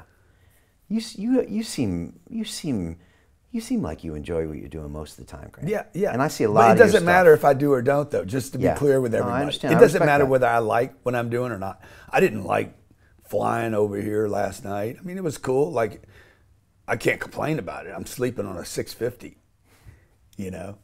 Right. But you know what I told Ryan on, on in the plane? I said, you know, now I, I, I only fly, I don't know, maybe 30 or 40 times a year, and I have my own plane. When I didn't have my own plane, I was flying 30 times a month. Now I have my own plane, I don't use it. So it's a weird, you know, I don't know, dude. Like, I'm, I'm still learning. Like, I, I want everybody, anybody that's watching this, like, I don't know. I say this all the time. I think this is true, but I'm not sure completely sure, but I think it is. Then now, like I think I'm going to get to to whatever, hundred billion dollars worth of real estate. I'm not sure of that completely. So I'm living with this not knowing. Okay. Okay. I I don't know for sure, but I have to convince everybody around me I can do this. I know I can do this. We can do this. This can happen. This is how it can happen, right? But the whole time I'm going to sleep with I don't know if this is true for sure. This is what I imagine Trump goes through. Yeah. He's got four people around him saying, "You said it wrong." His wife, the kids, and he's like, "Okay, but I know this is right." I, I, I imagine it's extreme. I, I don't know how he does it, or anyone. He's not the only one. Elon, I mentioned Jesus. Man, look at Jesus. Yeah. He was rolling around with people. Let's go over here now. You know, so so th- th- there's been a lot of people, and I'm not comparing myself to either one of those people. I'm just saying, like, it is very, very lonely um, when you become an individual. And I think it's a worthy goal to become an individual. And true to yourself. Yeah. An individual not part of a mass. I am part of a mass. I am. I'm, I'm not trying to individuate, but an individual. Individuals change the world. It is not groups that change the world. It is individuals, okay? Leaders are very, very important, okay? Like Tom Brady is very, very important to the team. The team's very important, but the team is not more important than the individual. I'm sorry. And this will be, people will take this out of context and say, oh, he thinks he's more important than the team. Yeah, actually, I do. Because the team, without me, the team changes. Without Tom, the team changes. Without Babe Ruth. Babe Ruth played on, uh, he was with the Boston Red Sox. I think he was there five years three World Series. The, the Boston Red Sox traded him to the New York Yankees. He goes to New York, he wins four out of six seasons. As, and they had never won one. So you can't tell me the individual doesn't make a difference because they do. Right. And, and, and it's lonely because you're an individual. And the wife, eight kids, all the friends in the world, you still have this private little universe that you're living in. At least I do. Maybe not everybody, but I would imagine Elon would be like, yeah, bro, it's lonely. And that's the way it is. Or Barry Sternlicht that runs Starwood, that has all his little private problems. Right. That's leadership at the end of the day, good leadership. Yeah. Everybody's got to struggle with that. You're 65 now. Yeah. How much longer are you going to do this? Oh, dude. 20 years, as long as years, I can roll, years? bro. As long as the knees work, the hips work, you know, as long as I have a reason to get up and, and, and make a difference. Um, You're never going to stop. No, I, I, you know, the thing that drives me the most is like educating other people. Well, when I discovered, I just, hey, I just found this out, man. I love sharing that with people. I don't need anything back for it. Like 80% of the people that see any material are never going to give me a penny for that material. For the, but 20% will. The 20%, last year, like I'm a transparent person, The 20% of the, I don't know, probably probably 2% of the, the we had 16 million followers, probably 160 million people see some piece of information. About about an eighth of a billion people a year see my some piece of information I did. A tiny 160,000 out of that one eighth of a billion Okay. Unfortunately, we're not in every language yet. We will be with AI. But one tiny little piece monetized those 160 million people. Tiny piece. Okay. Most most everybody, 90, 98% of the people got the information for free. It's probably more like 99.5%. Yeah. It's probably less than half of 1%. Probably probably a quarter of 1% that actually transacted with me. Tiny number. But that number was $155 million last year. My partner did another 110 million. 10X Health System did, I don't know, I think it did 70 million. Wow. Since third, third for a year. Could do 150 million this year. Unbelievable. It's crazy. Cardone Capital did another um, 14 million, raised 300 million. Like, like th- that little tiny percentage, okay, my failure rate is off the rails but you still got to monetize. That's why I was talking about the haters. The haters are never going to even get this. Right? You're going to get, you're going to get one one one one tenths of one thousandths of one millionths or something from Google. Google's the winner. Yeah. The haters are just feeding the beast. You know, you're feeding the act. The machine that you should hate on is that machine because you're you're a slave to that master. So when do I get done, dude? As long as I can keep entertaining if I could get to a billion people a year entertaining a billion people, getting somebody to laugh about something, or getting somebody to say, What am I doing saving money at the bank? Fucking stupid. And the way I tell people, sometimes they hear it, you know? And I don't, I don't say it the way Robert Kiyosaki says it, you know, like I'm not into the crisis thing. Like you got to have all your money in gold. No, you just need to get your money out of the bank. Now, now you need, next thing you need to do is figure out where you want to invest it. So when do I stop, bro? As long as somebody will listen to me, man, and I can help somebody, you know, I'm, I'm probably going to keep doing it. Talk to me about 10x Health. I mean, that blew up. And then you got Dana White into that, and it blew up with him. And yeah. that's crazy numbers for a business you just started a few years ago yeah. that had no obvious probability to succeed. And I know you changed your health up, and Yeah. you know you got Dana doing his cold plunges and his Yeah. saunas, and he and Gary Brecka is now blown up on the back of it. Yeah. Um, how's that been? Well, 10x Health is, you know, the, Gary's not the supplement. You know, Gary Gary's the spokesman, and it br- brings attention to a solution. then the solution's got to pick it up. But that business, basically three years ago, was not a. It was a, not really a business. It was a service IV business, uh, mostly mostly for VIPs and people that were wealthy that could spend a lot of money, ten, twelve thousand dollars on IVs and stuff. And I said, look, I, I want to change this. I want to, I want to handle masses of people. I do not want this to be for the elite handful. I can pay for this, but me paying for it doesn't mean my niece can pay for it. I need, we need to make this affordable and easy for people to get, and an alternative to going to CVS and Walgreens and getting sick again, or going to the hospital. Now, I, I'll go to the hospital. You know, I'm, I'm fine. Me and Dana had this conversation. I get in a, I get in a wreck, dude. Uh, I broke my shoulder last February in two places. Dude, I went straight to the, boom, hit it, fix it. You know, I was on medication, like they, they had to give me morphine, like it was terrible. But I don't want to stay in that condition. Uh, Three people wanted to do surgery on it. I don't want to do surgery. I want to fix my shoulder. Came up with a program to fix my shoulder and both supplements, uh, exercise, like what, whatever the support is, right? Whatever it is you need. People are like, oh, you you know, you got to sell test or HGH or uh, these supplements. I'm like, yeah, but none, of- none of it works without work. Like you can put all the medication you want in your shoulder, dude. Somebody, this wood didn't work. Okay, I was doing pull-ups three months after I broke this in two places. So um, nobody can talk me out of that. If it doesn't work for you, I don't. Whatever. Maybe you didn't work. Okay. I know people that get supplements and don't take them. I know people that get trainers and don't use them. I know people that join clubs and don't go to them. Like, who, who's the scam here? You or it? So, um, 10x Health is blown up, dude. We scaled this thing. Um, we got a lot of attention. Uh, look what Dana did. That scares me, by the way, Why? because I, I don't. I don't want to be dependent upon one person's success. Okay, it scares you that that was Terrifies me. that there's that much tension. That, that not much attention on Dana. Okay, well, in case something happens to him. Well, what, yeah. What if something happens to Dana? That's the first thing I thought. Okay. Everybody's like, look at Dana, look at Dana, look at Dana. Dude, I love Dana. Dana's awesome. I was texting with him three days ago. I needed some help in Las Vegas. But I'm like, what if he gets fat? What if he doesn't stick with it? And then it's, oh, it didn't work. It was a trend, da da da, whatever. Now, the, the, the cold plunge and the, the red light therapy bed and the oxygen, all that stuff is real, okay? Now, but, but again, you still got to take care of yourself. Yeah.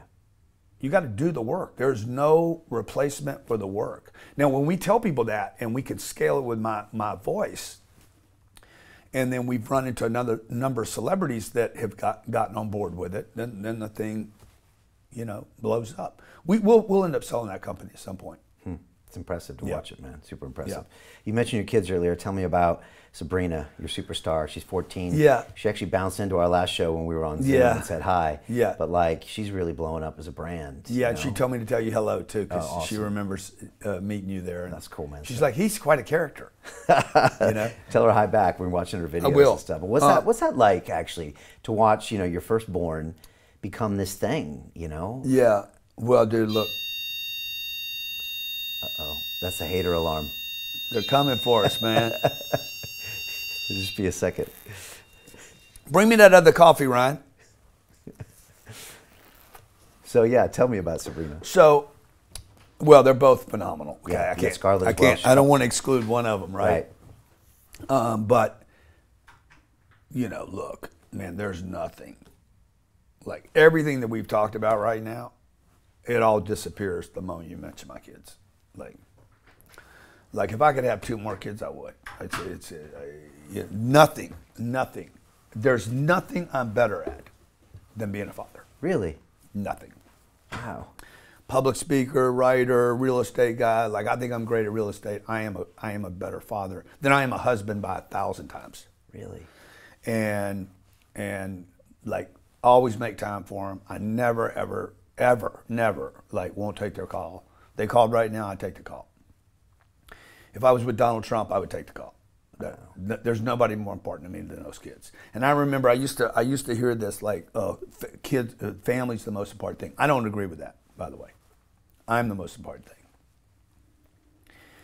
And I'm the most important thing because if I'm not in good shape, if I'm not present, if I'm not available, if I can't be there, then I can't. Like, how can I even help them, right? So, um, you know, hopefully, and I cross my fingers on this as much as I'm not into superstition, is like they continue to be good, right? It continues to work out.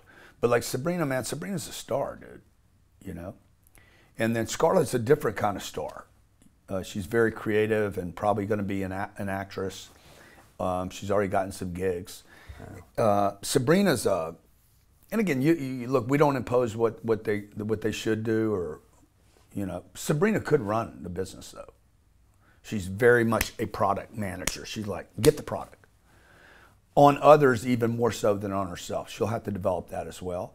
But I don't know what I'm talking about. I'm rambling about my kids right now, you know, just because I'm in love with them and I think they're phenomenal. And I remember you told me when they were born, you made a conscious effort to like completely adjust your schedule. So in the mornings, th- thanks for remembering that. yeah, you would spend time with her and even take her on a walk when they, were, you know, she was like Dude, what six I months did- old or a month old. Dude, she wasn't even probably two weeks, three weeks. Every morning, I'd let Elena sleep in and I'd grab her and take her to the store. Every single day of the week. Not, not a day. I don't think I missed it. I, I missed five days in a year. Every morning, we'd go to the store, same store, really nice grocery store, and we'd go in there, go, I don't need groceries every day. People are like, you don't shop for your own groceries. Bro, I went and did my own groceries every day. Okay.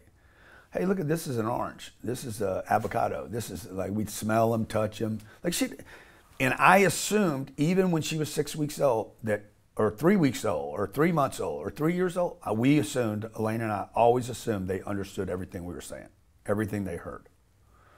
So I've been talking to her about real estate and investing and speaking and confidence, dude, the whole time. Wow. So that we, we have an unbelievable bond, me and her. We'll, we'll be friends forever, you know. And so, How'd um, you do that? huh? Was that just natural? Did you make a decision? I don't know, man. I don't know, but it's freaking, it's solid. Huh. It is.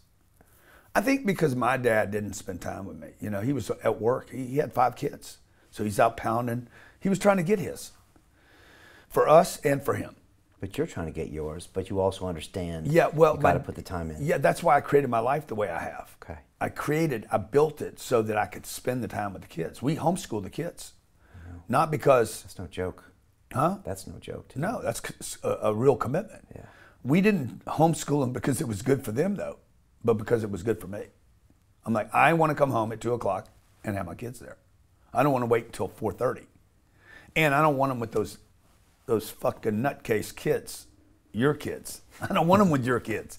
Okay, I don't want I because maybe your kids are fine, but it's the next set of kids that are problematic, and so I didn't want them around other people's children. So, oh, well, how are your kids going to get socialized? Okay, look up Sabrina Cardone online or Scarlett Cardone on time and tell me they're not socialized in, in a nice way because I didn't really want them socialized this way. So we wanted them out of the prison system, I mean, the school system. You know, we wanted them out of what I think is the most dangerous place a kid can be today. Right, because it brainwashes them. Totally. They get bullied, they get introduced to, to homosexuality, to drugs, to transgender, to ideas that I would never ever introduce a 14 or 15 year old kid to. Like, let them, let them become adults. Like, there's some things kids don't need to know about. There's an age where I don't need to know about that kind of stuff yet. So, if you guys think it's like a nine or 10 or 12 year old kid should be introduced to sex by other people, if you believe that they should learn about that that early, how important would it be to teach them about money when they're 10 years old? So that's all we did. We just fill their time up with other things they can learn about. And yeah, they're going to miss the football team. They're not going to be part of the softball crew. They're not going to be part of the rowing team. And you know what? They're not going to have those pictures. They're not going to have those memories. They're going to miss all. So you can't have it all. Right. But the kids, man, I mean, it's everything, dude. And I just want them to be proud of me and have stuff going on and and get them involved in it. They're both working on their speeches right now for the 10x Growth Conference. That's awesome. I give them a title. What do you think about this title? Sabrina's got hers. I have a plan. That's from that video she did about how she's going to make a million dollars and she got trashed. That's her first big hate video. We'll get we'll get you the link so you can insert it. And uh, she's called me up, Papa, man, Papa, I'm getting, I'm, I know what it feels like to be you now. They're hating on me. I said, well, how's that? How, how do you like it? She's like, I, I kind of like it, but I'm kind of not liking it. And I said, well, what are you going to say? What are you going to say? She's like, I don't know what to say. What should I say? I said, well, you need an answer. And she's like, I said, look, when you handle hate, you have to have a response. What should I say? But you don't have, you don't have an explanation ever with a hater. You just have a response. One short response. And it shouldn't be antagonistic. It shouldn't be angry. It shouldn't discount them. She's like, well, what should it be? I said, well, I know what I would say if I were you, but you need to come up with your own. She's like, what's yours? I said, I would just say, at least I have a plan. And smile. And she's like, that's my speech for the growth conference. At least I have a plan. So that's what she tells people because she, she's 14 and she's like, I'm going to be a millionaire by the time I'm 20 years old. This is how I'm going to do it. And people start adding there, yeah, because your daddy's rich. You're going to work for your dad. Yeah, he's rich. That's the shortcut right there. Your daddy's rich. But just because I'm rich, it doesn't mean she's going to be rich. Just so everybody understands. I'm not giving her my money. Right. But if she has a plan, she can get her own. And that's that's her response now. I got a plan. That's super cool. I like it. How's Elena? I Good. see 10x Women's, and Yeah. she's she's pushing. I know she came here last time. She sat down. We talked about her book, which I know you know you guys were going back and forth. You're like, when you finishing that book? It came Yeah, yeah. out. It's a great book, but it seems like she really went all in on 10x. Yeah, her, her, her goal is, is to build a massive audience of women, empowering women, to, to not disconnect from being women, lean into being a woman, support men, support the family unit. We need women, man. I know. I don't, I don't need a man. I told, I, I told somebody the other day, they said, How do you and Elena work together? Dude, I need a wife at home. I don't need a boss at home. I don't need a. I know all you guys want, all the women want to be bosses now. Okay. Well, I don't need a boss. I don't want a boss. I want a wife. I want a partner. I want somebody in my bed. Okay. I want, uh, I want somebody to actually cook me breakfast. I actually like being taken care of. Not a maid, not a cook. I would rather Elena make the meal. It tastes better to me than a chef. I like a grilled cheese uh, sandwich at 10 o'clock at night. Is she serving me? No, no. I'm serving her. I serve my family. Okay? She makes me breakfast. I am the servant in the relationship. I, I don't know where we got confused here. And Elena wants to really encourage women to be like, hey guys, we're not serving them, they're serving us if you guys, if anybody out there, any family out there has somebody like me providing for the family, guys, I am the servant.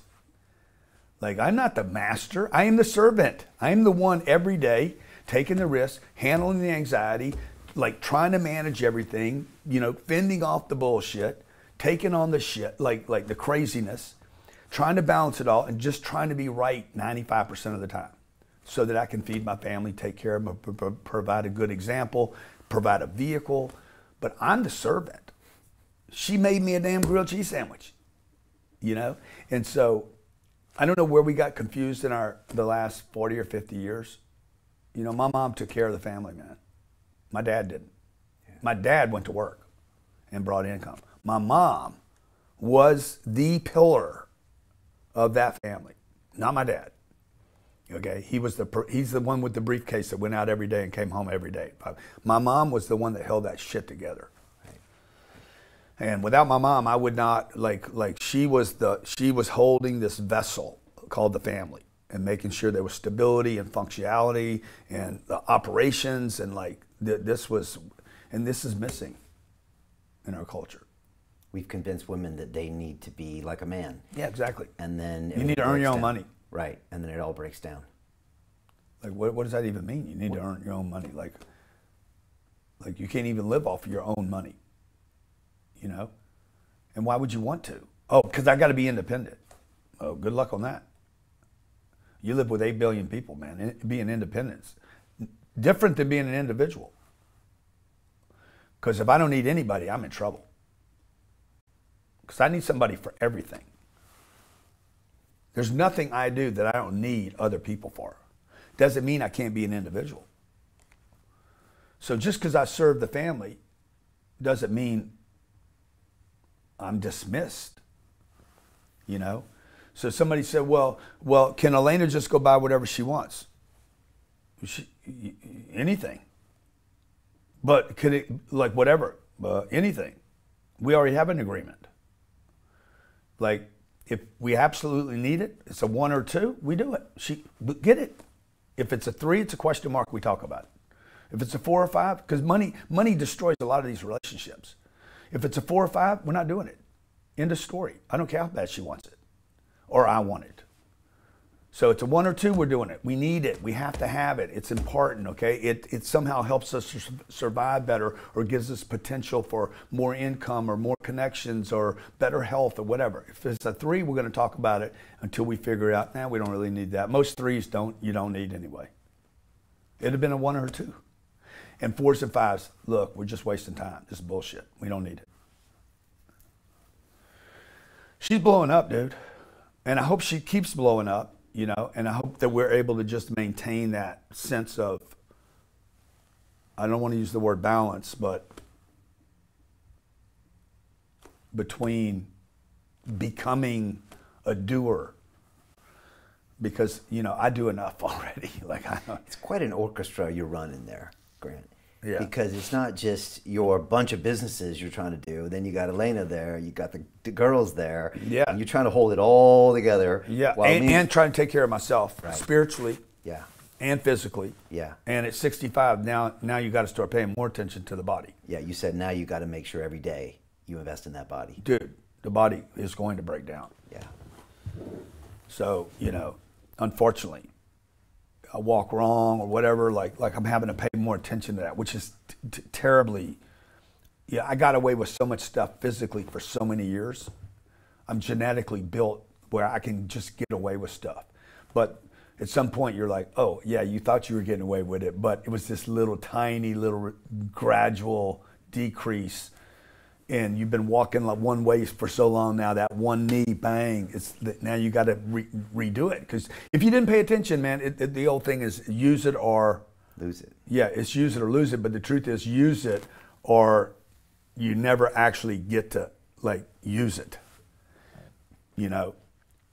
And so now i have to figure out how to use stuff again. Bro it's terrible. You know? I cannot imagine I said this in Undercover Billionaire. I saw you since then, right? Yeah, yeah, yeah. Man, like when I was without any money in that trailer and it was 15 degrees outside and I had one bottle of water and no food, I was like, bro, this is real. I have no name, no money, no credit cards. I can't call any of my friends. I have one bottle of water, no food, 15 degrees, and I hate cold weather. Like I don't even like this weather you guys have here right now, okay? I can't imagine like how hard it is to operate without money. It's hard to operate with it. Like I'm, I'm describing this thing with all this money and success and the plane and all this stuff. Dude, it's hard with it. It's like paint like almost impossible without it. And that's probably the thing that drives me, man, to figure out. I'm just trying to figure out, Brian, like, how do I do all this? And then I think about all the other people out there on the planet, from the Gaza Strip to the people in Russia that are probably having a hard time right now. Okay, to people in South America, like all over the world, whether you speak my language or not, to the black kid in Baltimore inner city, doesn't have a dad at home, he's a single mom. Like, dude, it's so hard. Life is hard. Is that what you learned by that moment in, in Undercover Billionaire? That that there were people that needed you, and you felt what it was like to be that low. Yeah, yeah, and then I have my kids over there. I can't be with them. At that moment, it was worse having kids than not having them. Right. I'm like, I wish I didn't have them. I wouldn't miss them. At that moment, when I had nothing, I wish I had never had anything. Because now I had the comparison. Because when you never, like when I had nothing in the beginning at 23 years old, dude, I didn't like, I didn't miss anything. when you've had everything and you you you now, you know. By the way, it's still sitting over there. You all you have to do is quit this right here, and you can go have that tomorrow. It was so painful. It'd be better if I never had that. I remember when I, I, bought my first plane, a guy told me, Herb Chambers said, Look, son, let me just tell you something. You know, I know you overcame a, a terrible drug addiction. I said, Yes, sir. What's that got to do with planes? He says, Because you'll never overcome this one. I said, What? He's like, There's no recovering from a plane. Once you have one, it ruins your life. So if you're going to get a plane, if you're going to get a jet, a Gulfstream, you, you better make sure that you can keep that Gulfstream for the rest of your life, okay, until you no longer want or need one, okay? You better be sure you can use one because I'm going to tell you something. When you can't have one again, it's going to be the most painful thing of your lifetime. I've heard that. Yeah. And he's right. Oh, yeah. well, I don't, I still have one. I mean, I have my third one now, so. But you thought about when if, if, if Dude, I would never not want to have that. I cannot imagine like cause once you have it. Right. Once you taste the fruit, man you know, once you have something, you want it. You want to keep it. And and I think people are scared to have stuff. Like like I hear this thing people talk about fear fear of failure. You know, well, what if I really like it? You know, yeah. Or fear of success. Because then fear of success. That's a weird fear of success. Yeah, that's a weird one because it doesn't make sense. It doesn't make no analytical sense. Yeah, but it's real. It's completely aberrated. Like you would say, I don't want success. I'm scared of success. Why? Because you don't think you can keep it. Because once I get it, everybody knows, okay, my responsibility is I have to hold on to it. It's like you got a bike as a kid, now you got to take care of it. Or you got a puppy. You know, you got a puppy, oh, now I got to take it outside. So that responsibility of holding on to it and then multiplying it. That's the game, though, man. And so the future of Grant Cardone is going bigger, going after the institutions, and collaboration more. You've been talking all about collaboration. Yep. I kind of want to end with that because you said the old Grant sometimes came off as combative because he was coming from a place of oh, scarcity. Oh no, I was combative. that didn't come off that way. It was. But you're saying that was maybe coming from a place of scarcity. Yeah. By the way, you've had to reprogram your mind, which is a very hard thing to do, coming from that background you grew up yeah. with with yeah. your mom and your dad. Yeah. And so you're trying to do this in real time while the plane's flying. But now you're trying to embrace this collaboration, abundance mindset, and you're doing like 10x more collabs than you've ever done in the last couple of years. And that's what you want to continue to do going forward. Is that weird for you to work with someone? Because it's uh, fun to compete with someone. Yeah, it, it, well, yeah. the competition thing's a very low grade activity, though. You know, I'm going to beat you. Is a very low caveman kind of mentality because it suggests that I have to get something you could have gotten, and and so um, yeah, giving that up, dude. When you're when you're as competitive as I have been for so many years, like that worked for me. You know, that's kind of what drove me was okay. I'm gonna catch up with you and I'm gonna pass you. You know, to let that go. You know, when it got you to a place. You know, I remember I used to save money when I was 25. Okay, I need to save money. I didn't have any money. Okay, I got to get 3,000. I got to get 10,000. I got to get 100,000. I got to get 200. Like once you save and then some point you're like, okay, now what? Now what? Oh, keep saving? Well, you could. That's great for the bank. But at some point, that asset that I built, I couldn't save, that was a liability. Then I could save, that's an asset. But that asset at some point becomes a liability again. And so I have to shed that. Like I'm in shedding right now. I'm going through a shedding phase. I think people talk about seasons, but there's also a shedding between seasons. Like I'm shedding um, Grant Cardone. I'm shedding a skin right really? now of yourself. Uh, 100%. Interesting. Yeah, okay. I'm shedding. The marketer's going to shed off. The sales guy's going to shed off. The transactional guy, the competition guy, the bold, brash. I'm going to shed. Really. And become another version for the last 20 years. Hmm. That will become probably quieter. Just mogul. Huh? Just the mogul. Institutional. Right. Okay. You've so, been shedding for a while now? A little bit. I've been working on the shed. Very consciously? painful. Very painful, dude. Consciously. Consciously. Because you're like, all right, I'm not going to be that guy anymore. I'm I, not going to think that way. I'm no, no, no. I know where I'm going, and where I'm going has to be okay. I got to get on my plane. I got to go meet with five inst- insurance companies that are boring. Okay, now I'm going to have to start doing some of this slower stuff that I despise, by the way. Right. I hate, I was brought up to hate this, Okay. To hate the institutions, to like, like, like I remember my mom talking about anyone that had anything more than us was an institution. The car dealer was a threat. The plumber was a threat. Goldman was a threat. The bank was a threat, right? Everybody was a threat. Now I want to, I need to become the very thing that I have most um, despised. Figure out how to become the best version of that, though. So we'll see if I can pull it off. I got enough time. That's a cool challenge. Yeah. It's probably the ultimate challenge in life. It's been done. It's been done many times, though. You know, Wells Fargo, Merrill Lynch, Goldman Sachs, Start as the rebel and become the. J.P. Morgan. Right. Okay. Yeah. True. JP, you- Yeah. no, I'll bet you 60% of your audience doesn't even know J.P. Morgan was an actual person. The actual story behind him, right? They think J.P. Morgan is a bank. yeah. True. It was a person first. Yeah. And that person was very similar to, to, to, to my kind of mock up. Hmm. So that's an inspiration. Very much. Can you imagine one day, like 200 years from now, they just talk about, Cardone Capital, right? Cardone Bank, And they don't Cardone even- Insurance. Right. That's happening.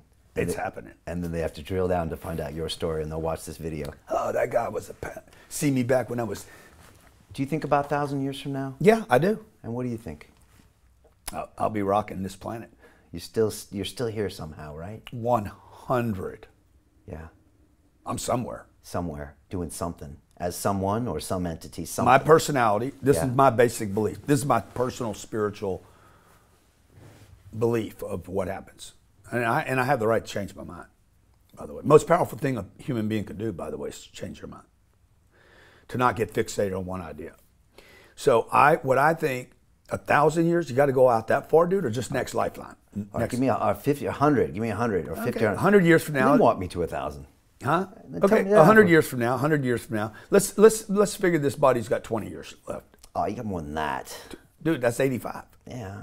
I mean, I'm, I'm, I'm, I'm hitting on the extremes of the oh. situation. Let's say right, let's say let's say I go 25 years. Okay, maybe 30. Give you 95. Okay, 30, 30. The last five are going to be painful. I know. I don't it's know. going to be nasty. I know guys but- in their 70s crushing it right now. I know Yeah. a couple guys in their 80s crushing it. I don't know anybody in their 90s crushing it. Yeah, it's like it's a bad look, dude. Nothing works anymore. Okay. feel like you got to worry about fall slipping in the shower. If I can just tap out. All right. At some point, at some point, you got optimal, and then just tap Well, out. it sounds like you got a next level, anyways. So. well, maybe, maybe, and maybe there'll be some big breakthroughs. Okay. But let's say I got 25 years. That would put us at what? 2045, 2047, 20, let's say 2050. Yeah, 2050. Bang. What I think happens is this personality, this basic personality, who I am, not Grant Cardone, okay, not this physical 5'8, white, uh, this. The body goes, and then the personality, the basic personality, and all its memories and learning and education and development now take over another physical body. And bang, we go again. Newborn? Yeah, probably. Okay, but not necessarily. Newly born. Newly born. Newly born. Okay. Okay. Interesting. Okay. This is all personal. This is not connected to anything, uh, any religion. This is me thinking. Kind of like the Dalai Lama. That's what happens, right? They go find the kid. That's the next Dalai Lama, and he's that spirit went yeah. to the next kid. Yeah, and I, and I, and for everybody, yeah, one hundred percent. And I believe the spiritual unit, that spiritual unit, has enough intelligence to decide where it wants to go. It could actually just hang out in some la la universe for a while, floating amongst other whatever they're doing. I don't know what they're doing anything because I like controlling the body. The stronger the spirituality, the more choice it has, the more strength it has. Uh, uh, well, definitely the more aware. Okay. This is why this is why I, uh, I, I frown on drugs a bit because because drugs make you less aware, right? Amen. And so the more awareness the individual would have, the less secluded to also lies and myths and training and indoctrinations um, and pain and unconsciousness, the more awake and analytical that spiritual unit is. Not Grant. Grant let's put Grant over here. Grant Grant is dead now. Grant Cardone has expired. But this person, this inner energy, this whatever this thing is, this unit, which is way bigger than my body. It's not this unit. Right. It's without space or time or you can't measure it, can't see it. You know, it's a big thought for a lot of people, but but this thing then adopts male, female. It chooses. It chooses. Okay. Sabrina told me when she was, I don't know, six months, eight months, whenever she could talk. I guess that's around nine months, ten months old, whatever. When did they start talking? Yeah, around then. Yeah. Nine, ten, nine, ten months. We were uh, maybe a year. She was. I remember she had a rib. We- I- uh, Elena wanted her to be a, a vegan, and I said, "Well, let's let her decide." And I had this big, long, freaking rib, right? And I gave it to her, and she just started freaking like a caveman.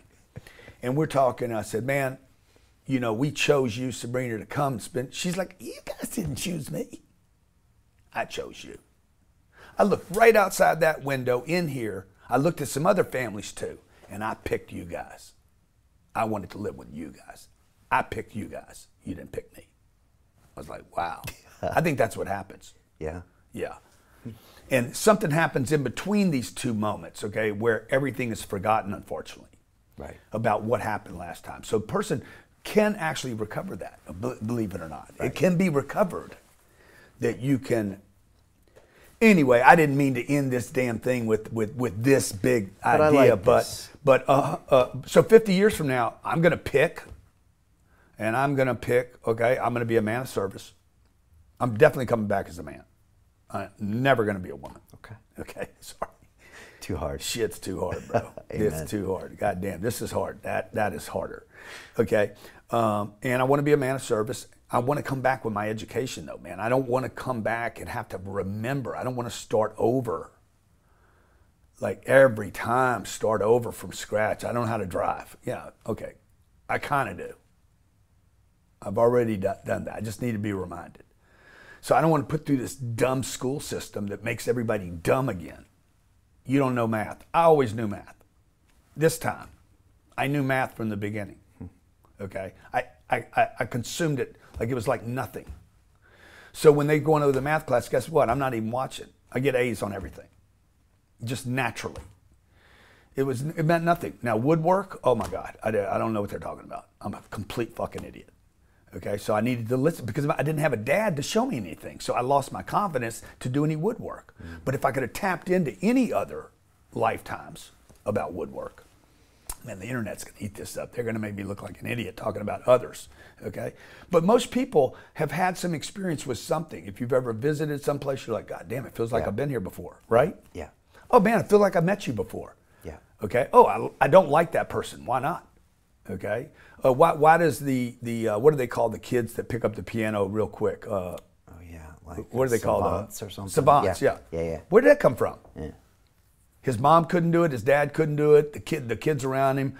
Dude, there wasn't even a fucking piano in the house. And boom, the guy picks it up. Or he touches the violin or he starts painting. Where did that come from? Explain that to me. There's a lot going on that we don't understand. But most people aren't prepared to admit that because it admits that you have We, we, limitations. we haven't even discovered 90% of the life in the ocean.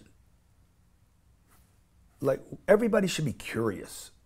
So Cardone continues. Cardone continues, and that, that, that, that's been the attraction to my, to my church, okay? Scientology is a, is a, people that go there are curious about what they don't know. They're not there to defend what they already know. They're curious. The reason I went to the Church of Scientology was I was curious about what I didn't know and thought maybe, or what wasn't working. I was looking around and said, why are all these religions fighting each other? That's not, that's, I don't know what's so godly about that. Why am I going to go to hell because I masturbated when I was 12?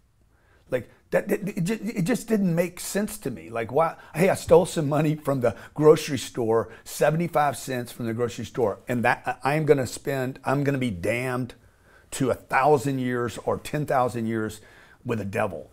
I was like, I don't know. It's something, I believe in the God thing, 100%, never question it, absolutely believe in God. But I'm like, I don't get all this hate and damnation stuff. It, it was confusing.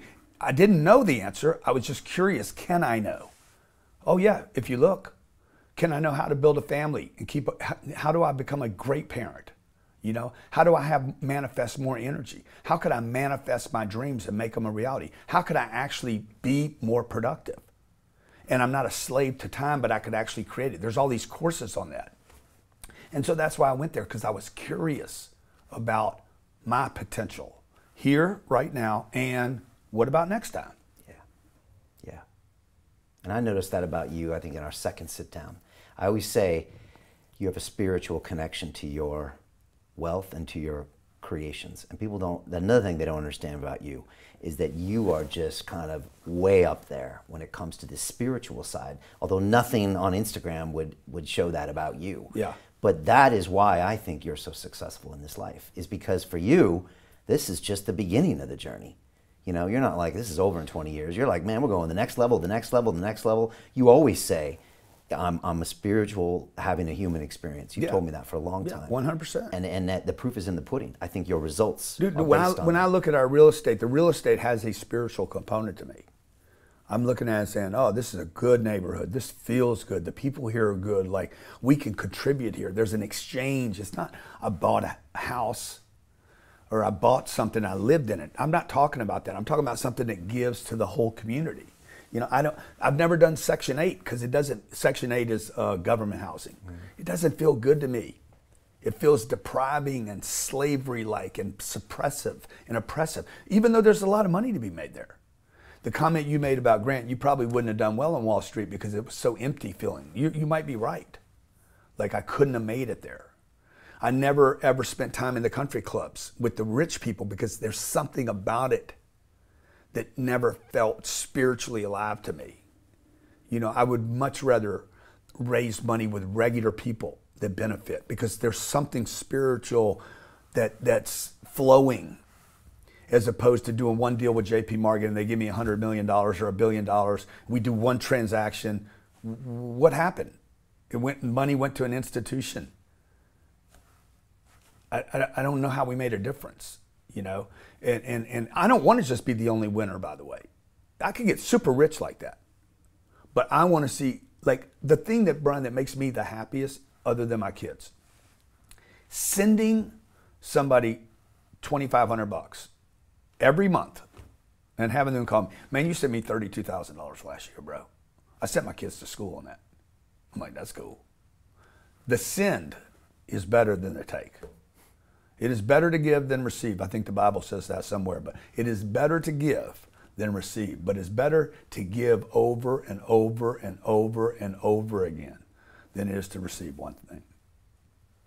So that's, I am a very spiritual man, but but I, but I'm stuck. I'm I'm stuck in this kind of material mock-up of achievement Right. that that that that obscures this other agenda that I have. with a lot of baggage. Don't tell anybody, training. by the way.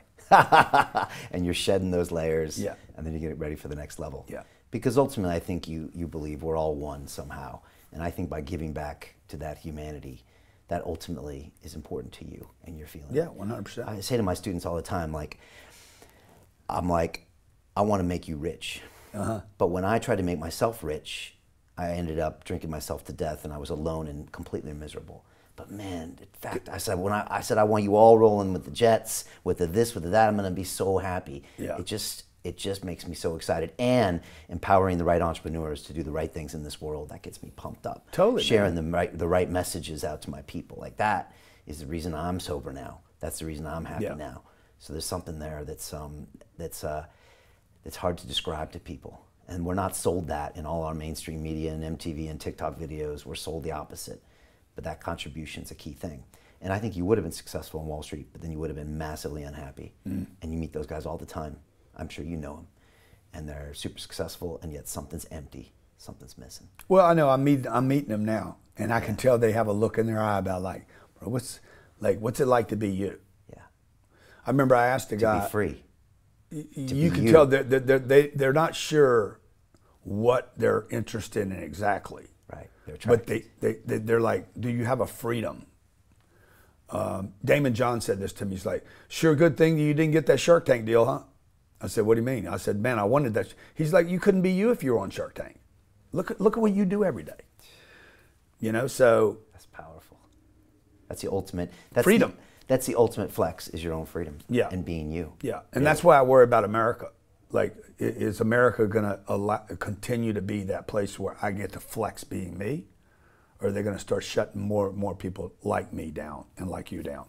I hope not. Well, let's keep fighting. Make sure it doesn't happen. Let's get you to be mayor in London, man. All right, let's one do start. The mayor, and then then what would the next be? We make you mayor. What's the next thing after I'll that? come to America. I'll run the place if you want. I'm still a citizen. well, let's go. or you gonna run? Maybe. I'll be your VP. You know, it's the thing that you, we were talking about this in the elevator, right? It's the thing I fear more than any other thing. is running for office. Running for office. Why? Well, two things. One, I don't know that I could win. I don't want to lose.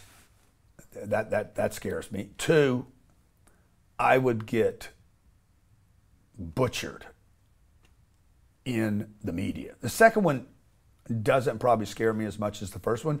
The second one will probably inspire me for the fight because I do like some of that that action. You know, I like being bullied it, it somehow emboldens me to do something um, creatively responsive that gives other people inspiration that the little guy is still really in charge. The David and Goliath thing is a real deal. Okay. I don't know if it happened, but it's happening in my life. Right. Right. So that means you have to do this thing, man. It's the I ultimate know- I don't- test. I don't know the ultimate growth experience. The ultimate shedding moment. I think I'm more likely to start a big super PAC Okay. first. That's a step. Yeah. That's a step. And then and then start moving some some things around. they say if you want to uh, if you uh, if you want to determine the future you create it right Yeah. so that's the best way The So best that- way. that's what we do every day Yeah. just just make it happen in the face of adversity and all this other stuff so that's the plan right grant cardone It's a plan. i want to thank you for going deep yet again i don't know if it's what it is maybe it's the air here in london but you always keep it super real when you Oh, come thanks, in here man. so I appreciate you. I hope people get to know even a little bit of a sliver of the real Cardone because there's a lot going on underneath the hood. A lot. Well, you see it. You see it. You're, you're, you, you do one of the best interviews of anybody that I've ever sat with. You see it. You're present. You know, like you got your notes and everything, the things you want to go over. But once you have them, then you let it go, and then you're just with me, and, and, and it makes it it makes it super cool that you can do that. And like two or three times today, I was like, oh, dude, he's actually present for the conversation, not just trying to get your next note in. Yeah. So thank you. My pleasure, man. Appreciate My you, pleasure, man. man. I, I've, it's been a real treasure getting to know you and and Elena, and then a little bit with Sabrina. And man, every time anyone ever asks me about you, man, I'll just say you don't fucking know. Thank Grant's man. the real motherfucking deal, man, and he's a, an incredible guy. And uh, man, wishing you all the success, man. Appreciate you. Thanks man. for coming Thank in. you. man. All Thank right, you. big love. Thank you.